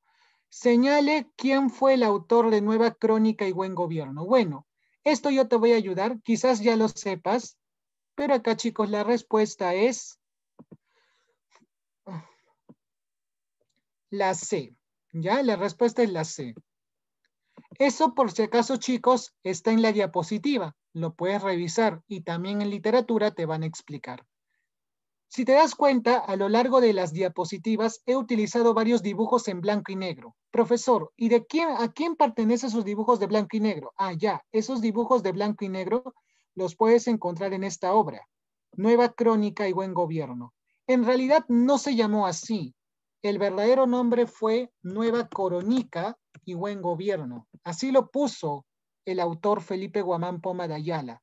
Lo que pasaba era que su castellano era un castellano mal hablado. Por eso le puso Nueva Coronica y Buen Gobierno. Y este libro está casi lleno de puros dibujos. Así que si eres un chico que te gusta mucho los dibujos, los libros con dibujitos y no con tantas letras, es un buen libro. Ya, Nueva Coronica y Buen Gobierno, así se llama. Listo. A ver, vamos a ver. Uy, muy bien. A ver, otra por acá. Ya. A ver, acá chicos vamos a tener mucho cuidado. Hagámoslo tranquilos. Leamos bien la pregunta. Pensemos bien en si puede ser verdadero o falso. Ya. UNI en los últimos años, como puedes ver esto de acá, mira, es un examen prácticamente reciente, es del 2021, o sea, de esta manera, UNI ha estado preguntando últimamente. Ya no te pregunta tan directo. Ahora te pone 1, 2, 3, como para que caigas. Ya, a ver. Yo te voy a ayudar, pero si, si por ahí ya tienes una clave, lo puedes poner. Pero yo te aconsejo, lee bien. Yo voy a empezar leyendo, así que te doy tiempo para que vas, vayas analizando. Los estudios que analizan la caída del Tahuantinsuyo durante la expansión europea consideran que esta no habría sido posible si no se hubieran producido, además, ciertos hechos concomitantes. Mira, una palabra para tu vocabulario de rabín. Determine cuál o cuáles son las alternativas correctas. Chicos, en tu examen tú tienes que estar tranquilo, tienes que leer bien si te pide correctas o incorrectas. No me falles ahí, por favor. ¿Ya? Lee bien, lee tranquilo. Listo. Tú sigue leyendo, yo voy a seguir analizando pregunta por pregunta. Ya. Uno, dice, la radicalización del conflicto entre los centros de poder del Cusco y Quito. O sea, acá nos están preguntando cuáles fueron las causas de la caída del Tahuantinsuyo. Yo ya te dije una durante la clase. ¿Te acuerdas que en Cusco se había quedado alguien y en Quito se había quedado la otra persona? Te lo comenté, te lo conté en la línea de tiempo. Un hermanito se había quedado en Cusco, que era Huáscar, y otro se había quedado en dónde? En Quito. O sea, ¿esto qué hace referencia? ¿Qué nos está diciendo la UNO, profesor? Nos está diciendo que una guerra civil, una guerra fratricida, una guerra entre hermanos. La UNO, verdadero. Claro, chicos, esa fue una de las causas de la caída del Tahuantinsuyo. Ya, esa fue una de las causas. La dos, las enfermedades epidémicas que diezmaron a la población local. Chicos, ¿esa es verdadera o es falsa? A ver, ahí me han puesto todas. A ver, esta que acabo de leer, ¿es verdadera o es falsa? Claro, ¿no? Mataron a Huayna Cápac y a su supuesto sucesor.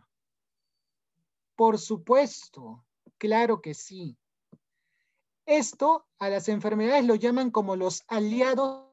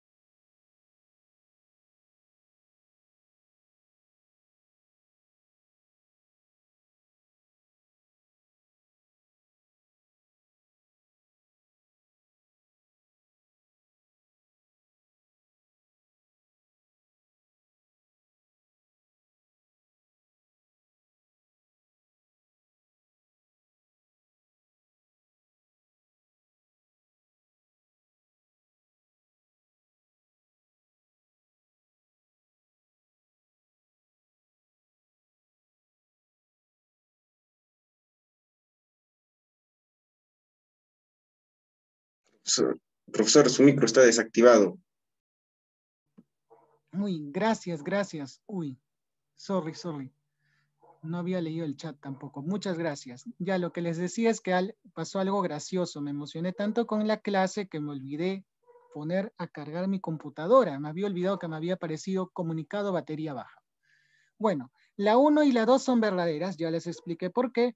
La tercera, chicos, es falsa. ¿Por qué? ¿Por qué, profesor, la tercera es falsa? Lo que pasa es que este sistema redistributivo, y esto lo mencionan los autores que estudiaron, que estudiaron el Tahuantinsuyo, permitió que se logre una gran cantidad de riqueza. Gracias a este sistema de redistribución y reciprocidad, se logró una gran riqueza en el Tahuantinsuyo, riqueza en productos, me refiero. Y por lo tanto, si yo soy rico en productos, no voy a sufrir hambruna, no voy a sufrir crisis económica, más bien hay abundancia. ¿Ya? Hay abundancia. Entonces, ese fue uno de los aspectos a favor de los incas. Los incas no podían decir, oye, somos vulnerables económicamente, alimentariamente. No, tenían lo necesario para alimentarse no solo la nobleza, sino el pueblo. Así que todos estaban tranquilos por ese lado. ¿Ya? Así que la respuesta acá, chicos, es la B, besito, uno y dos. ¿Ya? Eso sí, recuérdalo muy bien, ¿ya? Mm, la economía del Tahuantinsuyo no fue una de las causas por las cuales cayó. No fue una de las causas. Más bien la economía era una economía sólida en varios aspectos. Ya, como te digo, estas preguntas de acá son un poquito ya más para analizar. A ver, esta la 62. ¿Cuál crees que sea la respuesta? Vamos a hacer esta y dos más, porque ya mucho también y ya después te cuelgo las claves de las que quedan. A ver, ¿cuál crees que puede ser esta, la 62, chicos? La, vez, la besita, ah, no, me han dicho B acá, ¿no? A ver, lean bien, vayan leyendo bien, tranquilos. A ver, dice, el dominio que ejercieron los incas, ¿a qué se debió? Ellos conquistaron varios pueblos, ¿sí o no? Tuvieron un territorio bien extenso. ¿A qué se debió eso? Esa es la pregunta que están haciendo. Letra A, a los recursos humanos y a los recursos naturales. Puede ser, claro que sí. ¿Por qué? Porque yo necesito gente y necesito alimento para alimentar esa gente. Así que es importante. A la colaboración de los líderes a quienes se le convirtió en nobles de sangre. Chicos, te recuerdo que en la clase pasada hemos visto que casi todos los, todas las culturas no se rindieron pacíficamente. La mayoría fue obligada a rendirse, o sea, por medio de la guerra. Podríamos decir que solo uno de los pocos que se rindió pacíficamente fueron los chincha. Por lo tanto, los demás líderes, ¿cómo estaban? Igual que Francia, antes de la Primera Guerra Mundial. ¿Cómo estaba Francia? Resentida. ¿Por qué? Porque Alemania me ha quitado Alsacia y Lorena. Quiero recuperar Alsacia y Lorena. Esa bandida de Alemania me ha quitado Alsacia y Lorena. Igualito estaban estos. Estaban resentidos, querían volver a ser independientes, querían liberarse de los incas. Por eso, la clase de la próxima semana te van a explicar lo siguiente, que cuando los españoles llegaron, a pesar que eran poquitos, luego se convirtieron en un batallón. ¿Por qué? Porque esos líderes que estaban resentidos, allá mira, qué bonita oportunidad. Vinieron los enviados de los dioses a hacer justicia, pero qué mejor oportunidad para liberarme de los incas. Me voy a aliar con ustedes. Yo quiero liberarme y yo sé que con ustedes vamos a derrotar a esos dictadores. Entonces, la mayoría no estaba a favor del imperio, más bien habían muchas rebeliones internas. Por eso te comenté que en la sociedad había un grupo llamado Mitmacunas que tenían que ir a esos lugares para mantener el control de las cosas. Si no, se iban a rebelar, se iban a levantar. Así que esta no es. La prohibición de los cultos locales. Por si acaso, chicos, los incas sí respetaron varios cultos locales. El dios Pachacamac siguió existiendo, no fue destruido. En Huancayo también el Guayayo, pro, no fue Claro, el Guayayo Carhuancho, por supuesto. Prácticamente todos esos dioses que hemos visto la semana pasada siguieron. permanecieron siendo importantes. Obviamente, les dijeron, respetamos a tu Dios, pero siempre piensa que el sol está por encima de él. Pero no lo eliminamos a tu Dios. Ya, así que esta no es. A la imposición de la cultura inca a través del uso del quechua y la otra vez, si se dan cuenta, adoración obligatoria del Inti. Está diciendo lo mismo o prácticamente lo mismo que la C. Así que si la C no es, la D no es. El establecimiento de su sistema económico que generó la dependencia de los bienes producidos en el Cusco. Es cierto que existía una cierta dependencia del Cusco, pero los andenes, los huachaques, los guaruguaru no existían solo en el Cusco, existían en varias partes del imperio. Así que no podemos decir que necesariamente dependían exclusivamente del Cusco para alimentarse. Dependían en cierta manera, pero no completamente. ¿Ya? Así que hay que tener cuidado con esa alternativa. La respuesta es esta, chicos. Necesitaban hombres y recursos naturales para poder mantener a toda esa población bajo su control. Ya, ya le hicimos esta.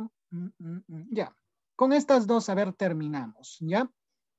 Unas, dos, unas chiquitas, como se dice. A ver, unas pequeñas preguntas, chiquitas nomás. A ver, la región de la selva, ¿a qué suyo perteneció? Te dije que era pregunta de examen de admisión. ¿Y esta de qué es? De San Marcos, si no me equivoco. San Marcos 2019 interesante. San Marcos 2019. La B, correcto, antisuyo, recuerda, antisuyo, selva, antisuyo, selva, antisuyo, selva, ¿ya? En el Tahuantinsuyo, la reciprocidad simétrica, ojo, simétrica, consistía en dar y recibir bienes o servicios de similar valor material o simbólico. Esto se llamaba AINI. Que era el AINI? Era la ayuda mutua entre quienes? entre los Hatun Runas y los familiares. No puede ser entre el Inca, porque el Inca era superior a ti. Tú no podías compararte al Inca, por favor. Los Yanaconas, profesor, te comento que los Yanaconas eran sirvientes y habían perdido todo lazo con su Ayu. Por lo tanto, no podían establecer alianzas de reciprocidad, porque los Yanaconas eran sirvientes de los nobles no pertenecían ya a un ayllu, habían perdido ese derecho. Profesor, ¿por qué no puede ser piñas? Los piñas eran prisioneros. O sea, ¿te vas a poner a intercambiar bienes con un prisionero? Un prisionero se iba a la selva a cultivar coca. Se le delegaba los trabajos más pesados. Eso eran los prisioneros, los piñas.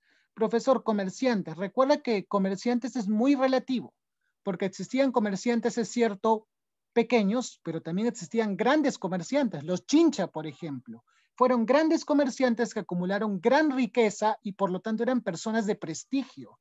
Y como se rindieron pacíficamente, pertenecieron a la nobleza. Recuerda eso. Por lo tanto, la que más,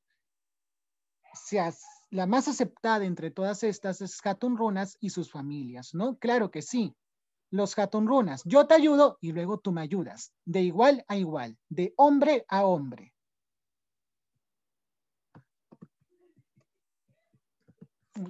Listo, chicos. Miren, acá. A ver, rapidito nomás, ya, a ver. Acá son tres preguntitas. Te doy rápidamente las claves, ya. Miren, esta de acá es Pachacutet, ya. Eso se realizó durante el gobierno de Pachacutet profesor, pero usted me dijo que fue Tupac Inca Yupanqui. Sí, fue él, pero en esa época Tupac Inca Yupanqui no gobernaba, gobernaba su padre. La red de caminos incas se construyó, esto te dije que era una pregunta, Wari.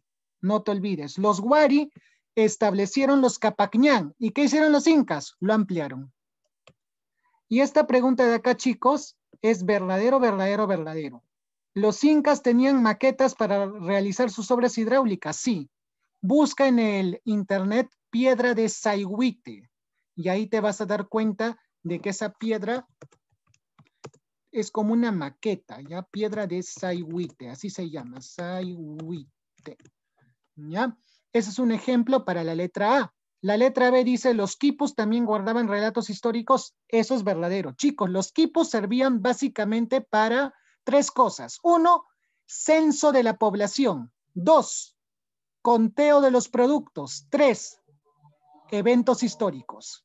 O sea, si yo quería registrar, guardar un evento, un hecho histórico que marcaba mi historia, lo hacía a través de los quipos.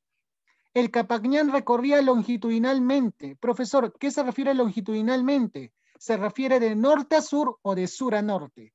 Por supuesto, los Capagñán iban desde Chile hasta Colombia. Conectaban sur con norte y norte con sur. Por lo tanto, la C es verdadero.